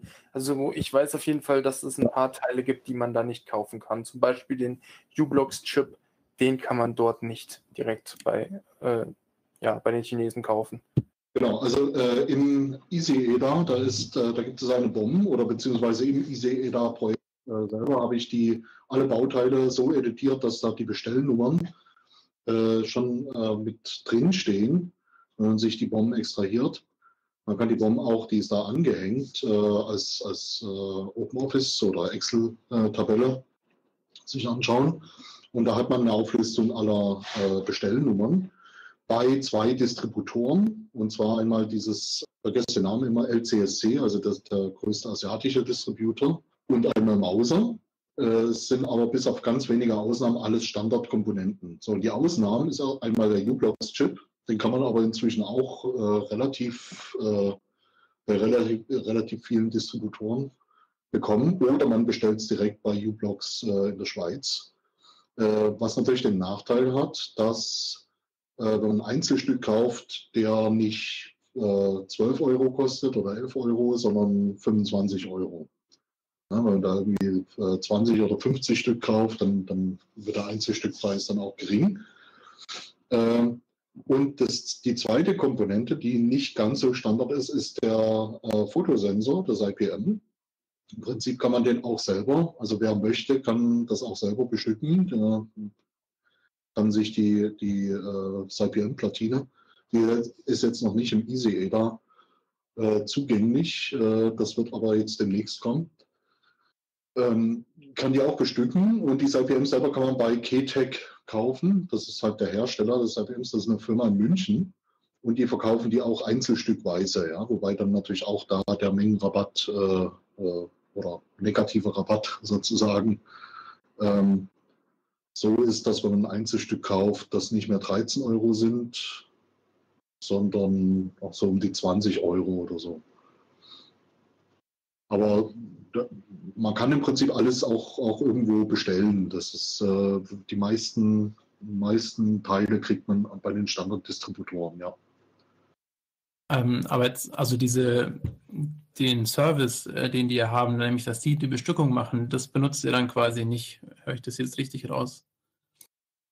Ah, die Bestückung von denen, äh, das äh, ist ein guter Vorschlag. Äh, das haben wir noch nicht probiert. Das würde ich aber irgendwann mal probieren, aber nicht mit so einem äh, relativ komplexen Board äh, wie diesem äh, Muon Pi Board, sondern da würde ich erstmal irgendwie ein kleineres Projekt, also zum Beispiel diesen Peak-Detektor, der jetzt hier nicht zu sehen ist, aber äh, wir werden gleich mal hier die Kamera anmachen und dann so ein Detektor in Aktion sehen. Und da gibt es auch einen Peak-Detektor, der dann oben drauf gesteckt ist, auf diese Pinheader.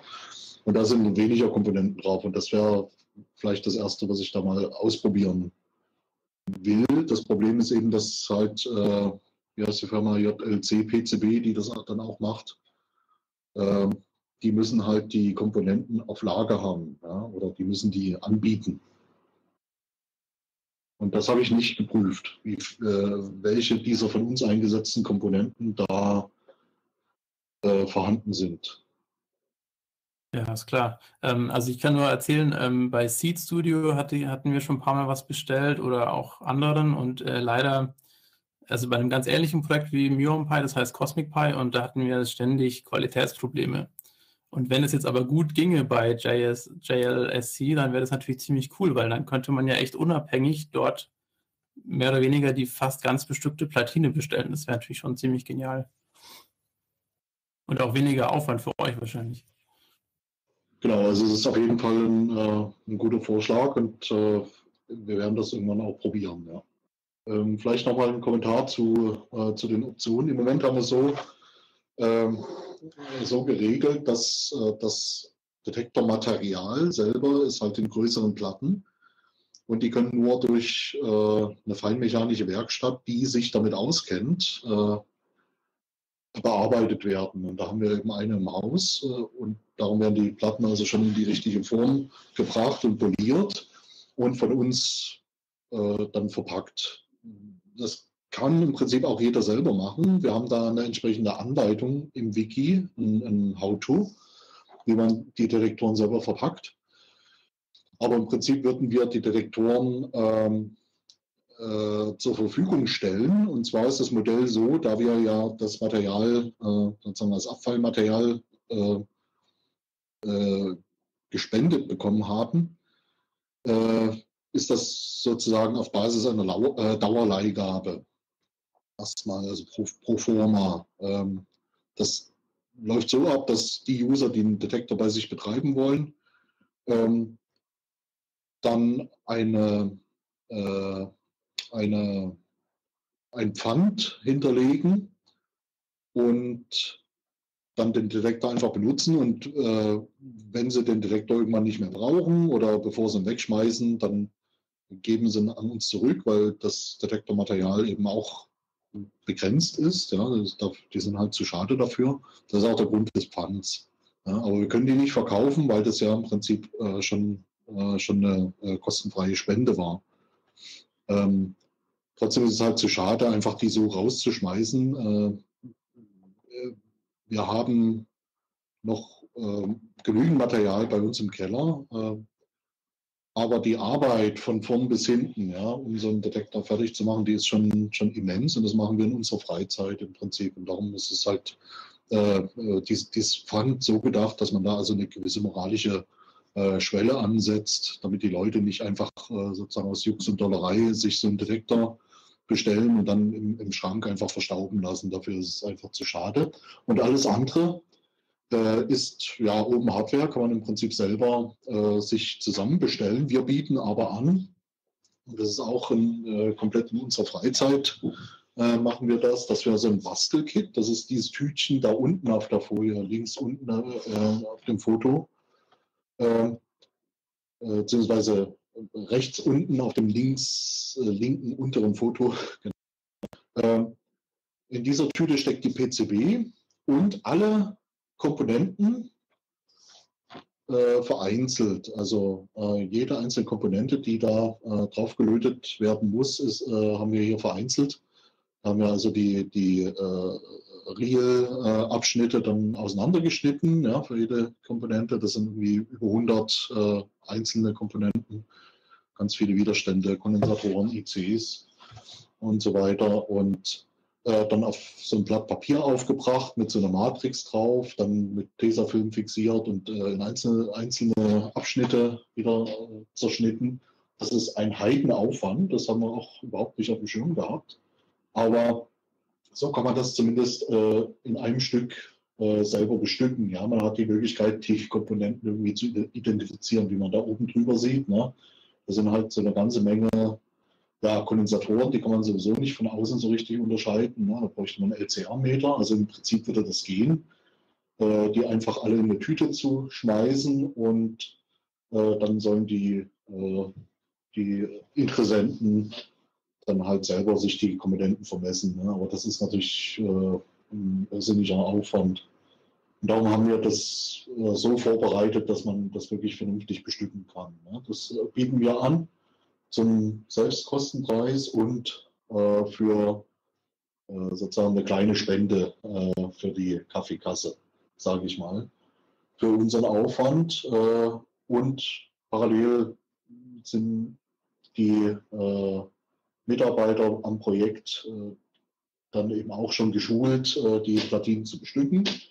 Äh, einer, der das inzwischen recht routiniert macht, sitzt neben mir, ist der Simon. Der hat jetzt jüngst auch ein Zeitraffer-Video auf YouTube hochgeladen. Also wir haben jetzt auch einen YouTube-Kanal, wo das erste Video praktisch so einen Zeitraffer von so einer Platinenbestückung äh, zeigt. Und äh, wer so eine Platine selber bestücken möchte, der kann also sich einfach das, das Video mal anschauen und auch äh, sich die Wiedergabegeschwindigkeit ändern. Und da kriegt man eigentlich einen ganz guten, guten Eindruck, wie aufwendig das ist oder äh, an welcher Stelle man welchen Kniff einsetzen soll.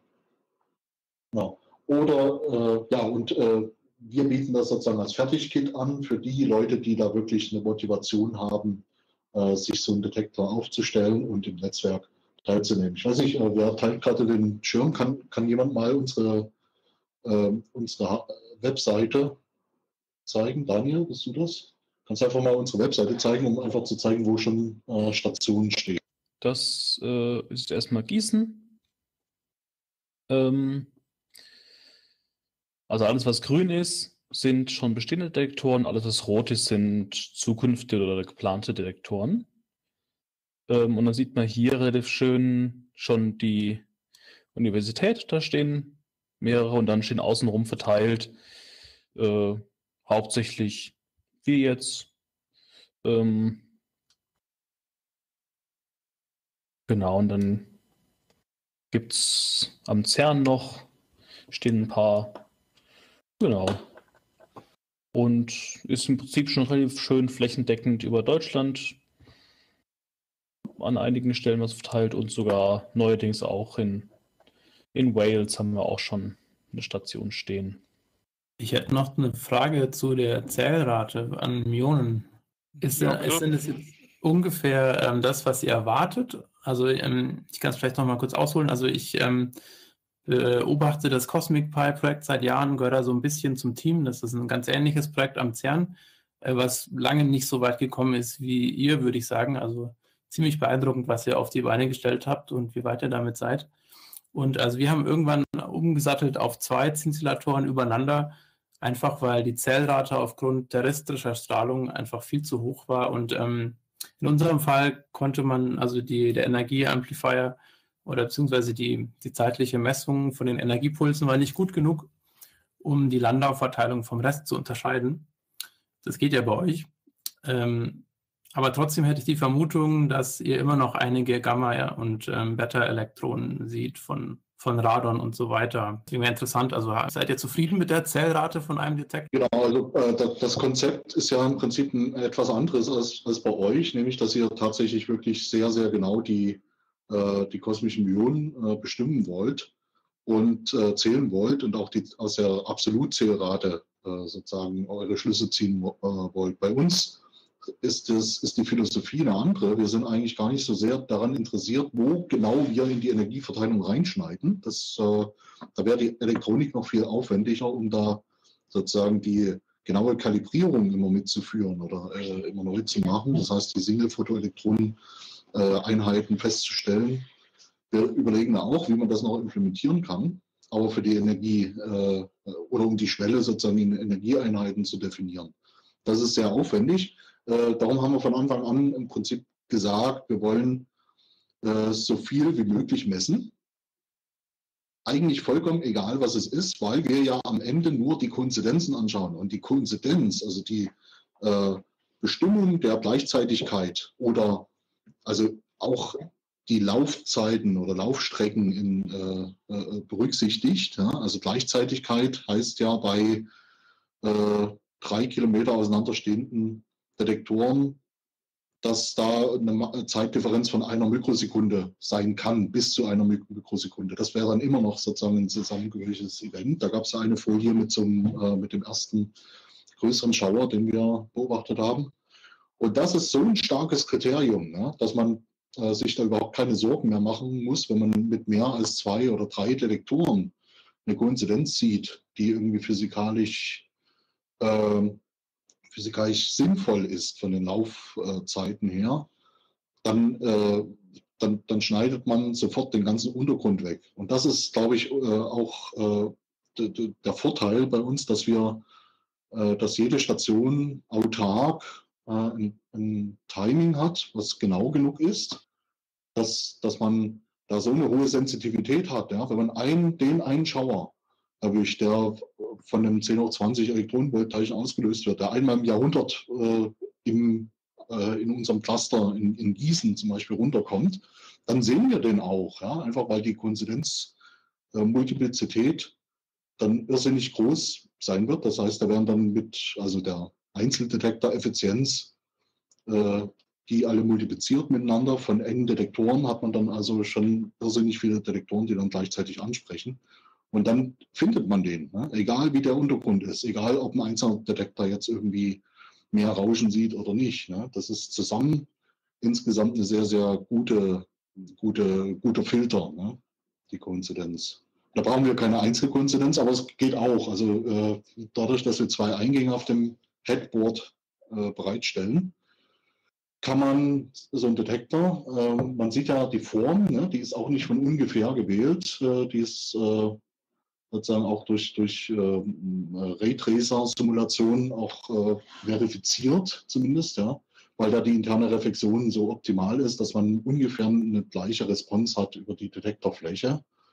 Und im Prinzip sind die beiden Stirnflächen auf einer klebt jetzt äh, das, das SciPM-Board. Man kann auf die andere auch noch ein SciPM drauf, draufkleben und dann die beiden in Koinzidenz äh, beobachten, haben wir auch einen Detektor im, im, Labor mitlaufen. Und da schneidet man auch schon eine ganze Menge Untergrund weg, obwohl das natürlich nicht der Untergrund ist, den man da, also man kann nicht trennen, ob das jetzt tatsächlich ein Teilchen ist aus, äh, aus einem Kalium-40-Zerfall oder aus der radioaktiven Untergrundstrahlung oder aus den äh, kosmischen Myonen.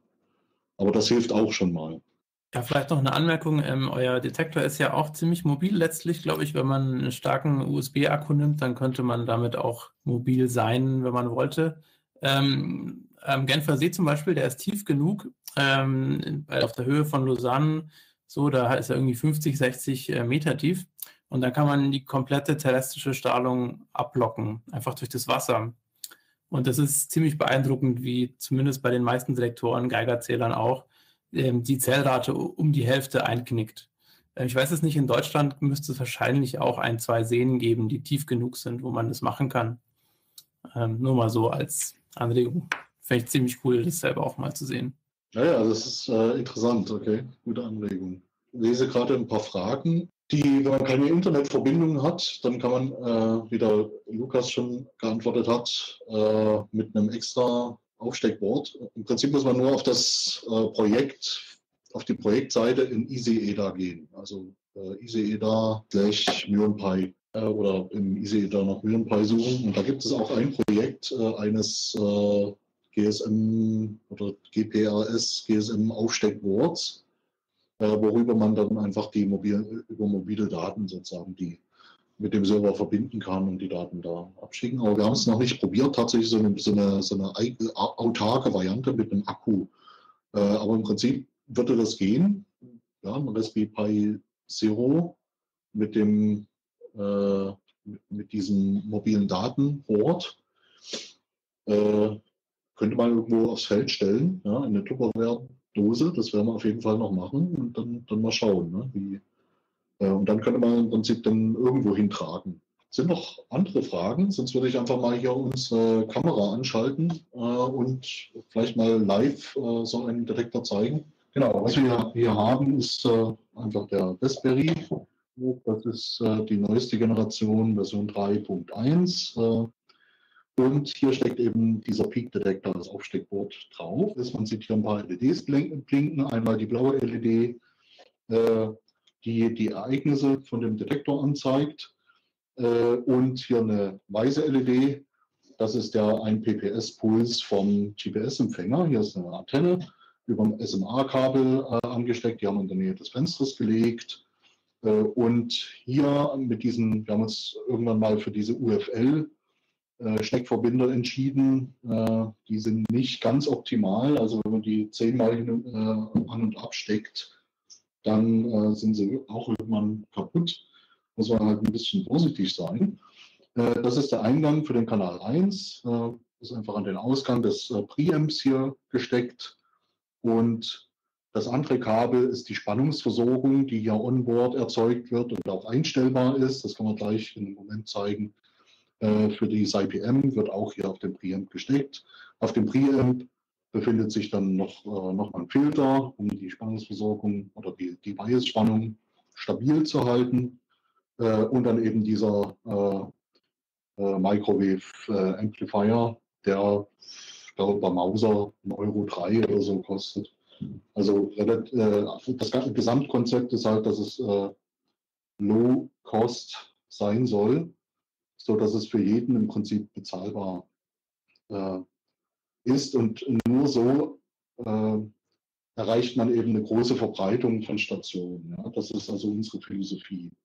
Wir wollen also keine exotische Hardware und darum ist diese Hardware eben auch ähm, in der Präzision, also, also zum Beispiel die, die Messung ja, der Pulshöhen und so, auch unterlegen anderen Lösungen gegenüber. Also es gibt ja mehrere solche Projekte, unter anderem Cosmic Pi. Ja? Also ich staune, was für eine, was für eine äh, Arbeit da auch reingeflossen ist. Äh, ich habe mir das also auch äh, genau angeschaut äh, und der James, der ist wirklich ein Pedant, ja, was, was so Präzisionsarbeit angeht ne, in diesem Projekt. Also das ist schon beeindruckend. aber wir wollen im Prinzip keine, keine Energiespektren genau messen, sondern wir wollen einfach nur die zeitliche Koinzidenz genau bestimmen. Und das klappt eben ganz gut durch die äh, Synchronisation jedes einzelnen, äh, jeder einzelnen Detektorstation über das äh, Satellitennetzwerk. Ähm, und darüber werden dann die Timestamps erzeugt. Eine weitere Voraussetzung äh, ist die, dass man den Timestamp im Nanosekundenbereich auch erstmal erzeugen kann. Und das geht äh, glücklicherweise mit diesen U-Blocks-Chips. Es geht nicht mit allen GPS-Empfängern oder Satellitensystementempfängern. Ähm, aber dieser gerade hat so einen Interrupt-Eingang, äh, wo jede steigende Flanke und auch fallende Flanke praktisch auch mit einem Nanosekunden-Zeitstempel versehen wird. Und das ist eigentlich ein Glücksfall. Genau. Ja, das ist die Hardware, äh, ist eigentlich relativ robust. Also hier sind noch ein paar mehr LEDs, zum Beispiel die, LED, die grüne LED hier hinten, die zeigt an, wenn der Telemetrie-Link über äh, das MQTT-Protokoll mit dem Server äh, aufgebaut ist. Äh, wenn die nicht leuchtet, dann heißt es, dass, äh, dass da irgendein Problem mit dem, mit dem Netzwerk gibt. Oder der Server ausgefallen ist, kann auch ab und zu mal passieren. Äh, die beiden anderen LEDs hier hinten, die gelben, äh, sind die Anzeige für die Betriebsspannungen für 5 und 3 Volt und die rote ist die Anzeige dafür, dass die Bias-Spannungsversorgung angeschaltet ist. Gut, ja, das ist äh, zur Hardware. Im Prinzip muss man nur das, äh, wenn man die Einzelteile äh, vor sich liegen hat, äh, im Prinzip nur alles zusammenstecken. Man muss die beiden Kabel, da gibt es eine Anleitung im Wiki, äh, an die richtigen Stellen äh, stecken. Einmal auf dem Vorverstärker, einmal auf dem Myron-Pi-Board, die GPS-Antenne anschrauben und ja, dann äh, die Spannungsversorgung anstecken. Und alles andere ist dann Software und das äh, wird der Simon jetzt demonstrieren. So, dann machen wir erstmal ein Hallo von meiner Seite aus. Genau, also zur Installation haben wir auch bei uns im Wiki ähm, auf das GitHub Repository verlinkt und im GitHub Repository ähm, ist zu jedem Release, was wir ähm, publizieren werden, ähm, sind da auch die Debian-Pakete dabei. Man kann natürlich äh, direkt aus der Source kompilieren. Ähm, das Ganze funktioniert mit äh, CMake. Das werde ich jetzt hier aber nicht machen. Wir haben hier im Verzeichnis jetzt schon direkt das Debian-Paket liegen. Das könnt ihr euch dann einfach aus dem Release jeweils runterladen. Ich werde das jetzt hier nicht runterladen, weil das leider hier durch das äh, Netzwerk-Setup der Uni mussten uns da ein bisschen was äh, zurechttricksen, deswegen funktioniert das leider nicht. Also standardmäßig ist eigentlich äh, der Weg der, dass man äh, einfach unser äh, Repository mit zu den Paketquellen des Systems hinzufügt, also zur apt zum Beispiel. Und dann kann man die Pakete ganz einfach mit äh, apt in, install äh, ja, installieren. Wir müssen das jetzt hier dann leider mit der lokalen Datei machen.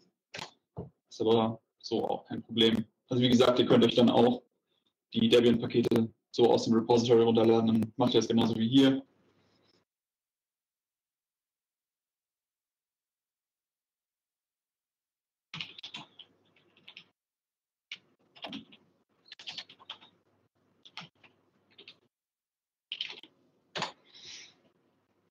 So, der ähm, Murendetektor Daemon, der also dafür zuständig ist, die Messungen aufzunehmen und über die MQTT-Bridge an unseren Server zu schicken, ähm, der ist jetzt nach der Installation erstmal inaktiv. Also müssen wir den noch einmal starten. Ähm,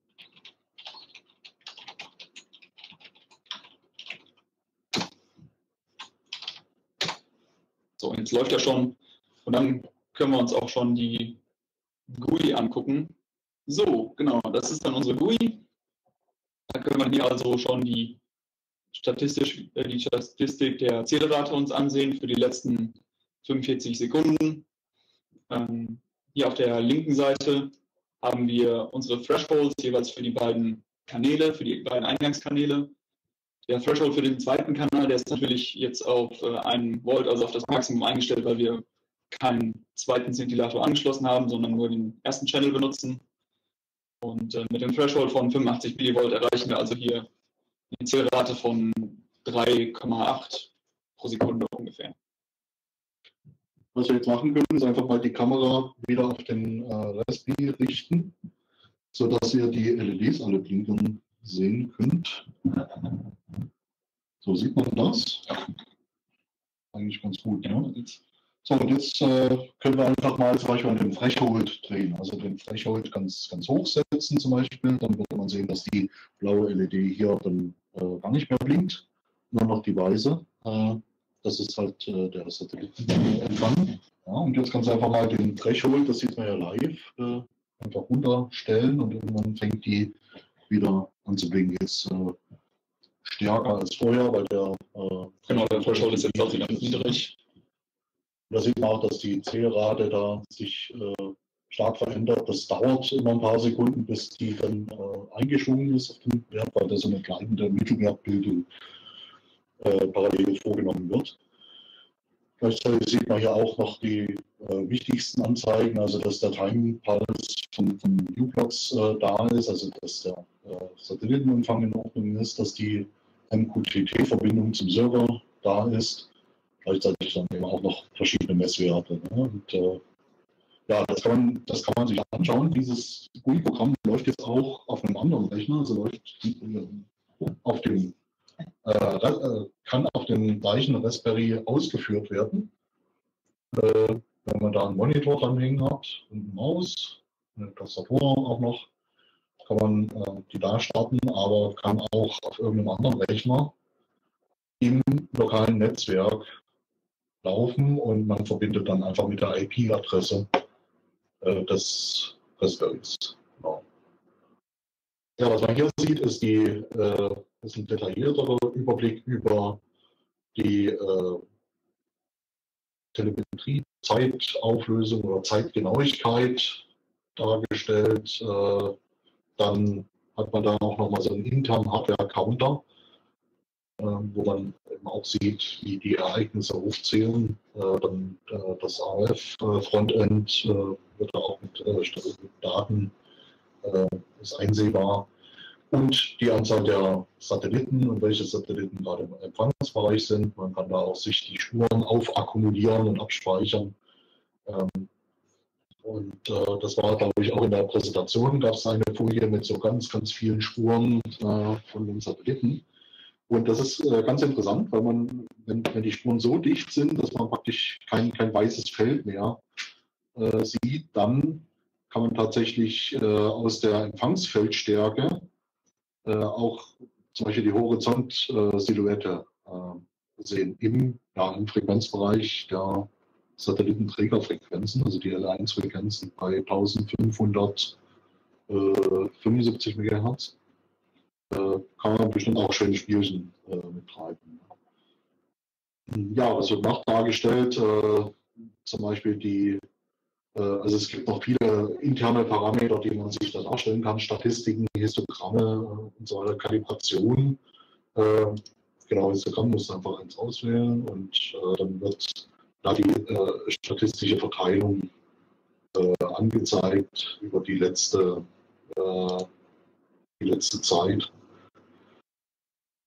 Ja, also diese GUI ist im Prinzip die Möglichkeit, um äh, von dem MyronPy-Detektor alle internen Parameter äh, festzustellen oder sich anzuschauen und auch zu verändern. Also die Bias-Spannung. Achso, was wir machen können, ist einfach, dass du mal, äh, die Bias-Spannung ausschaltest und dann kann man hier äh, sehen, erstens, dass die rote LED ja, für die äh, Bias-Spannung ausgeht und auch äh, sofort das Blinken der Event-LED aufhört. Ne? Das ist halt die, äh, der Fotodetektor, die IPM, spannungslos und damit äh, liefert die kein Signal mehr.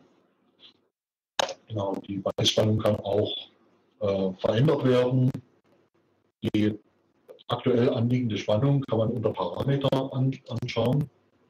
Äh, rechts unten in dem Feld ja, sind im Moment, ich kann es 29,7 29,7 äh, Volt und der Strom, der Weißstrom, der da fließt, wird auch mitgemessen mit 5 Mikroampere. Äh, diese ganzen Parameter werden auch über den MQTT-Link äh, in regelmäßigen Abständen als Logdaten äh, zum Server geschickt und werden da hinterlegt, sodass man die sich auch dann äh, genauer anschauen kann. Ja. Okay, ja. Gibt es noch Fragen, Anregungen? Hier sehe ich gerade die Frage, die Scintillatoren, ob die BC412 sind, äh, ist mir ein Begriff. Äh, wir benutzen die Scintillatoren von Elgin. Das ist sozusagen das Konkurrenzunternehmen. BC, Bicon gibt es auch schon lange nicht mehr. Äh, aber es gibt eine Vergleichbarkeit. Müsste ich in eine Parametertabelle gucken. Aber äh, wir benutzen Elgin EJ202 und EJ248. Äh, und ich glaube, EJ202 ist ähnlich in den Parametern wie äh, dieser Bicon 410 oder 412. Aber also es gibt da kleine und feine Unterschiede bei den verschiedenen organischen Scintillatoren. Einige sind äh, also mit der Geschwindigkeit des, der Freigabe der Scintillationsfotonen zum Beispiel zusammen, dem, dem Light Yield, Sensitivität auf Neutronen und solche Sachen. Aber für uns spielt das alles gar keine Rolle, weil wir so, äh, eine so dermaßen Standardanwendung haben. Ähm, nämlich äh, minimal ionisierende Myonen einfach äh, zu messen. Ja? Und äh, die Messgenauigkeit oder der Energiedeposit, also was in, äh, in der, in der Energiedepositverteilung äh, dieser Landau-Verteilung entspricht, die ist äh, schon so einfach weil das ein statistischer Prozess ist. Ja? Also es wird mal mehr, mal weniger Energie beim Durchdringen eines Myons auf das Material übergeben. Ähm, dass da auch die Dicke und die genauen Eigenschaften des Materials für diese Anwendung unkritisch sind. Und das ist auch der Grund, warum wir uns eben auch gefreut haben über dieses Abfallmaterial. Ne? Ähm, das war einfach Zufall. Das war einfach bei einer Konferenz äh, in den USA den, den äh, Chef, äh, das ist auch schon 80 oder so, angesprochen. Der macht das auch nur aus, aus Freude und nicht weil er arbeiten muss, sondern weil es eben will äh, in diesem Bereich. Äh, den Chef der, der Firma Engine angesprochen und einfach mal Mut gehabt und gefragt, was, die wohl mit dem Abfallmaterial machen würden oder dem Bruchmaterial. Er sagte, ja, ich habe gerade mit meinem Sozius telefoniert äh, und der hatte mir nämlich gesagt, unser Keller ist jetzt voll mit, mit Abfallmaterial und wir müssen jetzt äh, äh ein, ein Unternehmen beauftragen, das zu beseitigen. Da habe ich gesagt, ja, wäre schön, wenn, wenn wir das irgendwie kriegen könnten. Wir würden es auch kostenlos nehmen. Äh, wir würden es auch für einen guten Zweck einsetzen, äh, nämlich für so ein äh, Citizen Science Projekt, wo wir auch äh, Studenten und Schüler äh, und Schulen einbinden. Und äh, da hat der sich dann gefreut, ja, dass er sein, sein Müll los war und für uns sind die Detektoren tadellos. Ja. Die äh, wurden weggeschmissen, weil die sich in den Spezifikationen einfach von, äh, vom äh, Auftraggeber äh, um ein paar Mikrometer Dicke oder 100 Mikrometer Dicke unterschieden haben, sodass das dann nicht mehr in die Halterung oder so äh, reinpasste und das dann einfach äh, nicht nutzbar war. Aber für uns ist die Dicke vollkommen irrelevant. Und deswegen stellen wir auch jedem interessierten Nutzer, der seine Station betreiben möchte, das äh, zur Verfügung. Man ist an seltenen Ereignissen interessiert. Während doppelt größer sind ja besser, da dieser doppelt so viele Ereignisse detektiert. Ja, eine größere Fläche ist immer gut. Äh, aber hier kommt wieder so eine technische, äh, kommt, kommt wieder eine technische Grenze, nämlich wenn wir doppelt so viele Ereignisse hätten, man kann ja ungefähr abschätzen, die äh, Ereignis-LED hier äh, blinkt so mit einer Rate von äh, 3 Hertz, 3 bis 4 Hertz. Das ist tatsächlich etwa die Rate, die man erwarten würde von äh, an die durch diese Fläche durchtreten. Ja, das ist ungefähr die Fläche eines DIN A5-Platz, würde ich sagen, der Detektor. Und äh, äh, wenn die Rate größer wäre, wenn die, wenn die, Fläche also doppelt so groß wäre, wäre die Rate also 8 oder 10 Hertz äh, oder 6 bis 10 Hertz, sowas. Ähm, dann hätten wir ein Problem mit dem U-Blocks-Chip. Der hat nämlich so eine äh, Eigenschaft, der kann zwar einzelne Ereignisse äh, super genau timestampen, also äh, jede Flanke auf eine Nanosekunde ähm, datieren, aber hat eine Todzeit, wenn er es einmal getan hat, von 100 Millisekunden. Ja, und äh, da die Verteilung statistisch ist, äh, kann es eben auch, äh, auch bei einer Rate von 3 Hertz schon vorkommen, dass man Ereignisse hat, die nur äh, eine Millisekunde oder so auseinander liegen. Und die verliert man natürlich. Auch jetzt verlieren wir Ereignisse, das ist klar.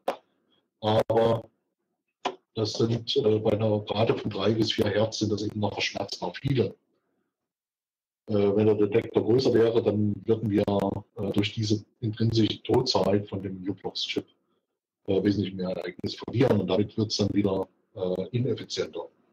Also wer mitmachen möchte, einfach auf unsere Homepage gehen und wer selber auch so einen Detektor betreiben möchte, am besten eine Supportanfrage in unserem Ticketsystem, tickets.nürnberg.org.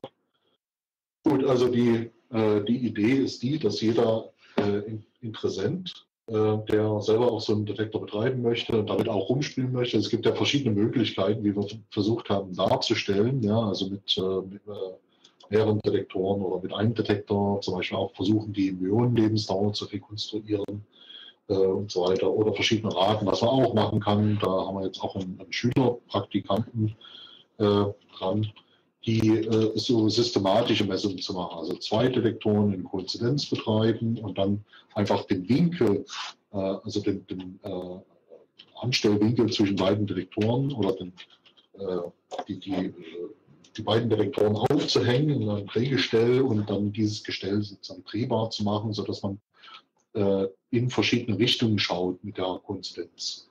Und äh, damit die Winkelverteilung äh, zu messen. Einmal die, wie man sie erwartet, ja, also die Winkelverteilung der Myonen. Äh, äh, äh, folgt so eine Cosinus-Quadratverteilung, aber, und das ist viel interessanter, und das ist, glaube ich, auch so äh, vor ein paar Jahren äh, überall in den Medien gekommen, äh, oder bekannt geworden, dass durch genau diese Methode eine neue, äh, neue Hohlraum in der Cheops-Pyramide entdeckt wurde. Ja. Also was man da macht, ist einfach die ähm, Raten von Myonen in verschiedenen Winkeln oder Richtungen äh, sehr genau zu messen und dann zu schauen, wenn äh, natürlich ist die Rate etwas geringer, äh, das ist also weniger als ein Prozent-Effekt, äh, wenn in dieser Richtung mehr Material sich befindet oder etwas weniger Material. Man kann also praktisch so eine natürliche äh, Tomographie von Gebäuden oder von, von äh, geologischen Strukturen machen. Ich glaube, die ersten waren die Japaner, die dann einen äh, der baltischen Aktivität verdächtigten Vulkan durchleuchtet haben damit, indem die also Löcher gebohrt haben neben dem äh, äh, Vulkankegel und dort solche Detektoren einfach versenkt haben und dann ein Jahr gemessen oder so und damit praktisch äh, so viel Statistik aufgesammelt äh, haben, um äh, alle Trajektorien einmal äh, zu bekommen und damit auch eine, ein tomografisches, also ein dreidimensionales Bild der äh, Magmakammer zu erstellen. Ja. Und das kann man im Prinzip mit diesem Detektor oder mit zwei dieser Detektoren und einem MyonPy-Board auch äh, nachvollziehen. Ja? Man kann also das eigene, eigene Haus sozusagen durchleuchten. Ja? Äh, aber nochmal zurück, äh, wer also Interesse hat, sich so einen Detektor aufzustellen und, und das ist ja der eigentliche Grundgedanke des Projektes, in dem Projekt, in dem Netzwerk mitzuwirken, um dann größere Strukturen in der Konzidenz äh, zu, zu messen. Äh, der sollte sich äh, in dem Ticketsystem unter tickets.mürnpal.org äh, registrieren, dann ist er bei uns auf dem Schirm und dann äh, kriegt er auch äh, eine realistische Abschätzung, wann äh, der Detektor fertig sein wird. Im Moment ist die Pipeline relativ lang. Äh, sind etwa 30 Detektoren, die wir jetzt noch äh, herstellen müssen und das wird noch etwa ein Vierteljahr dauern. Also einige, die müssen sich schon gedulden. Äh, Hans, kannst du nochmal auf die Frage von Ben eingehen? Er hat nämlich gefragt, die Anforderungen oder Wünsche an die Teilnehmenden, die Aufstellungsorte und was uns an äh, den User-Anfragen interessiert. Das ist eine gute Frage. Ich weiß es nicht. Äh, Im Moment sind wir froh, wenn wir eine möglichst breite Verteilung haben.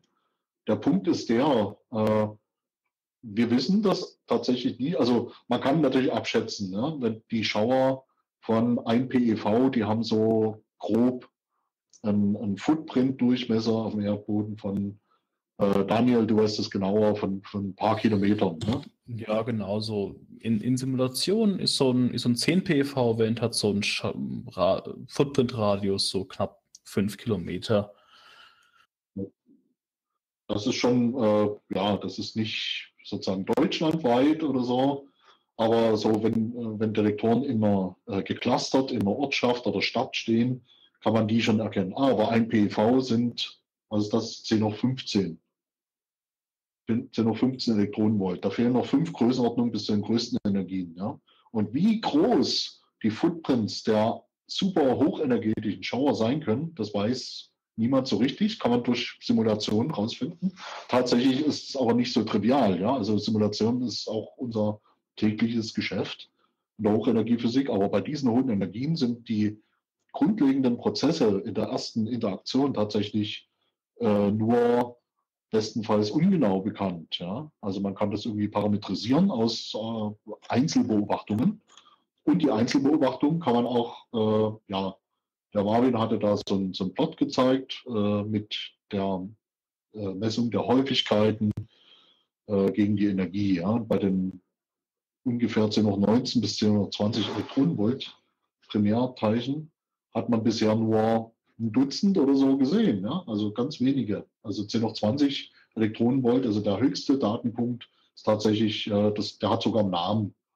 Ja? Das ist Oh My God Particle.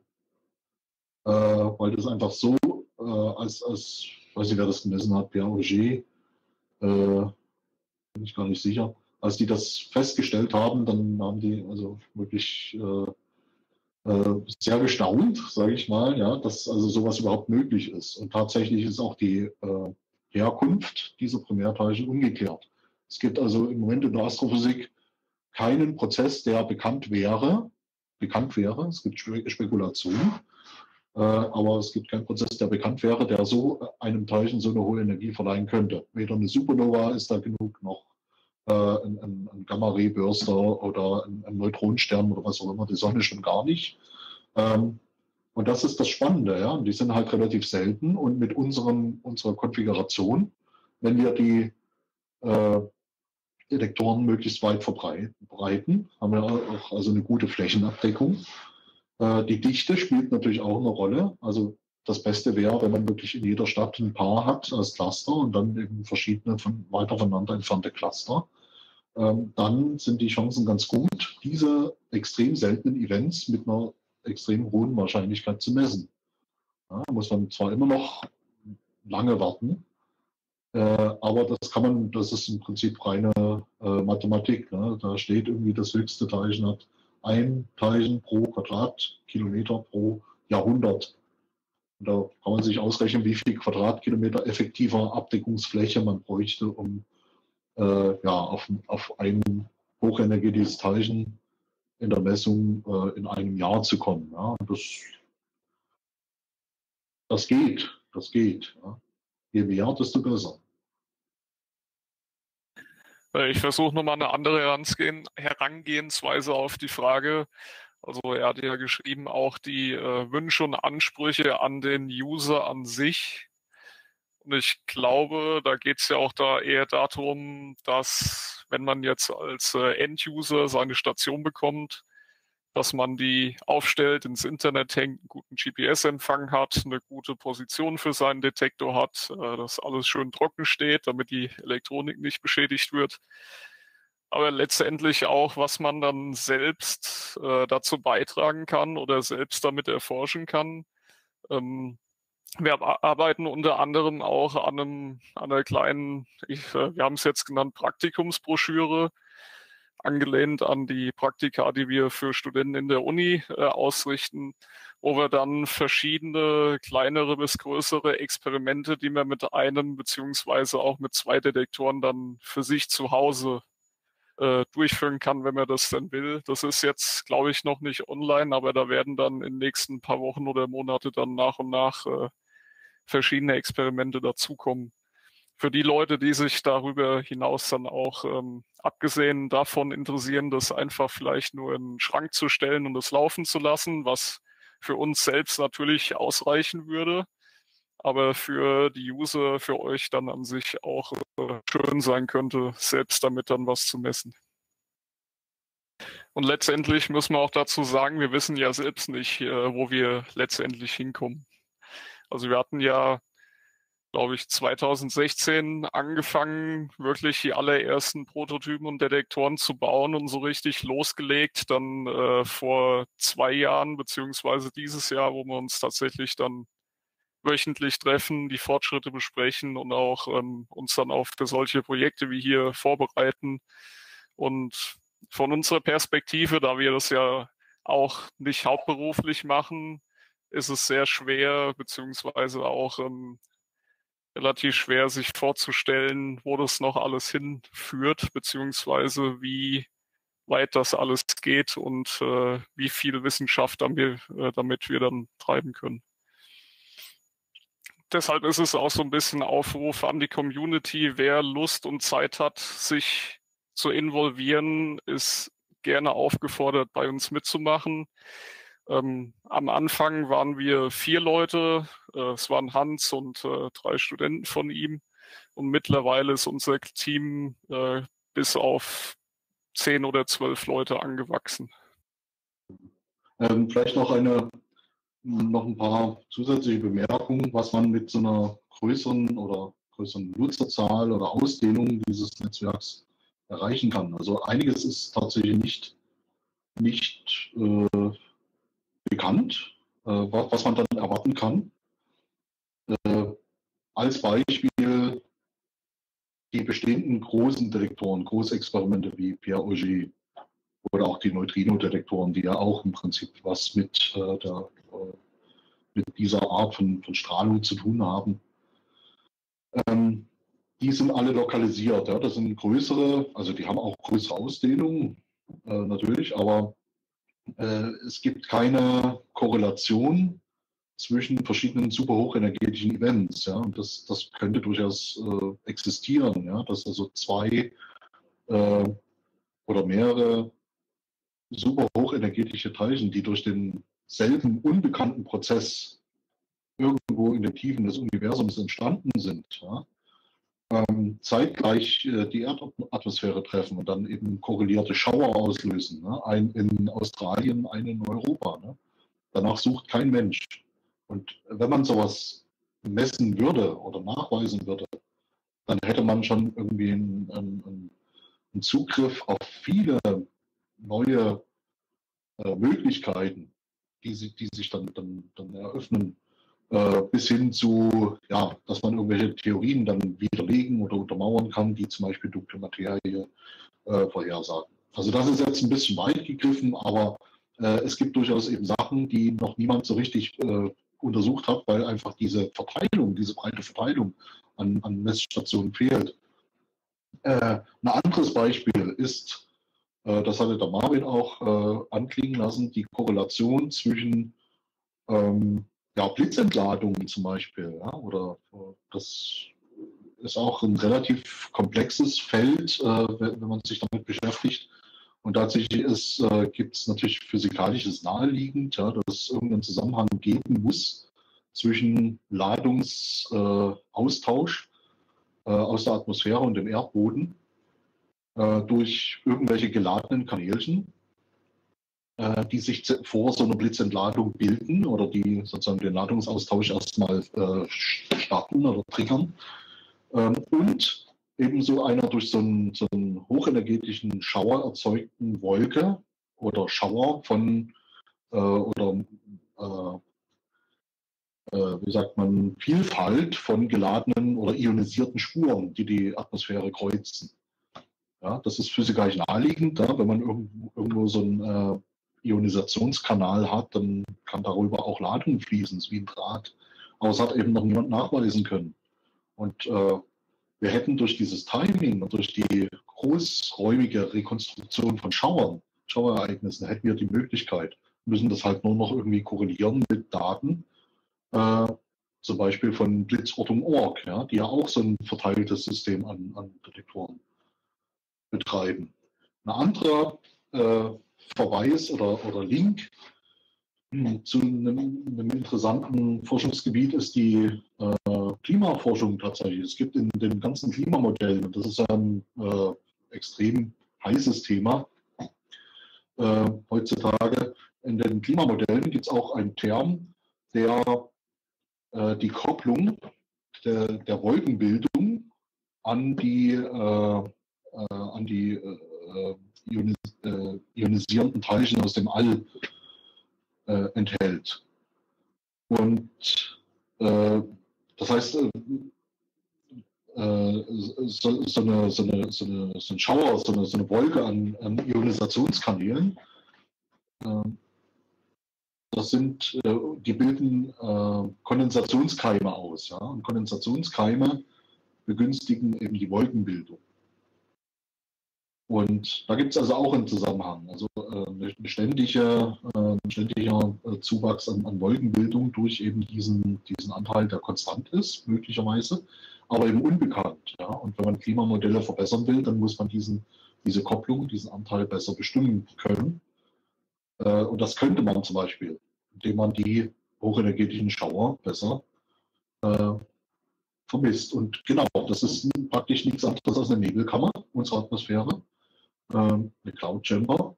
Und da gibt es ja auch am CERN so ein Experiment, ja, wo so eine gigantische Nebelkammer äh, äh hint, äh, als Beamdump äh, hinter so einem Beschleunigerausgang, sage ich mal, steht und man mit den dort erzeugten Myonen immer auf diese Nebelkammer schießt, um genau dies, äh, diese, dieses Wettergeschehen äh, zu modellieren. Ja. ja, ganz vielen Dank. Hervorragend. Ich habe ganz viel gelernt über euer Projekt und ich bin jetzt noch begeisterter als zuvor. Ganz, ganz herzlichen Dank an euch für die ausführlichen Informationen. Ja, sehr gern. Hat uns auch großen Spaß gemacht.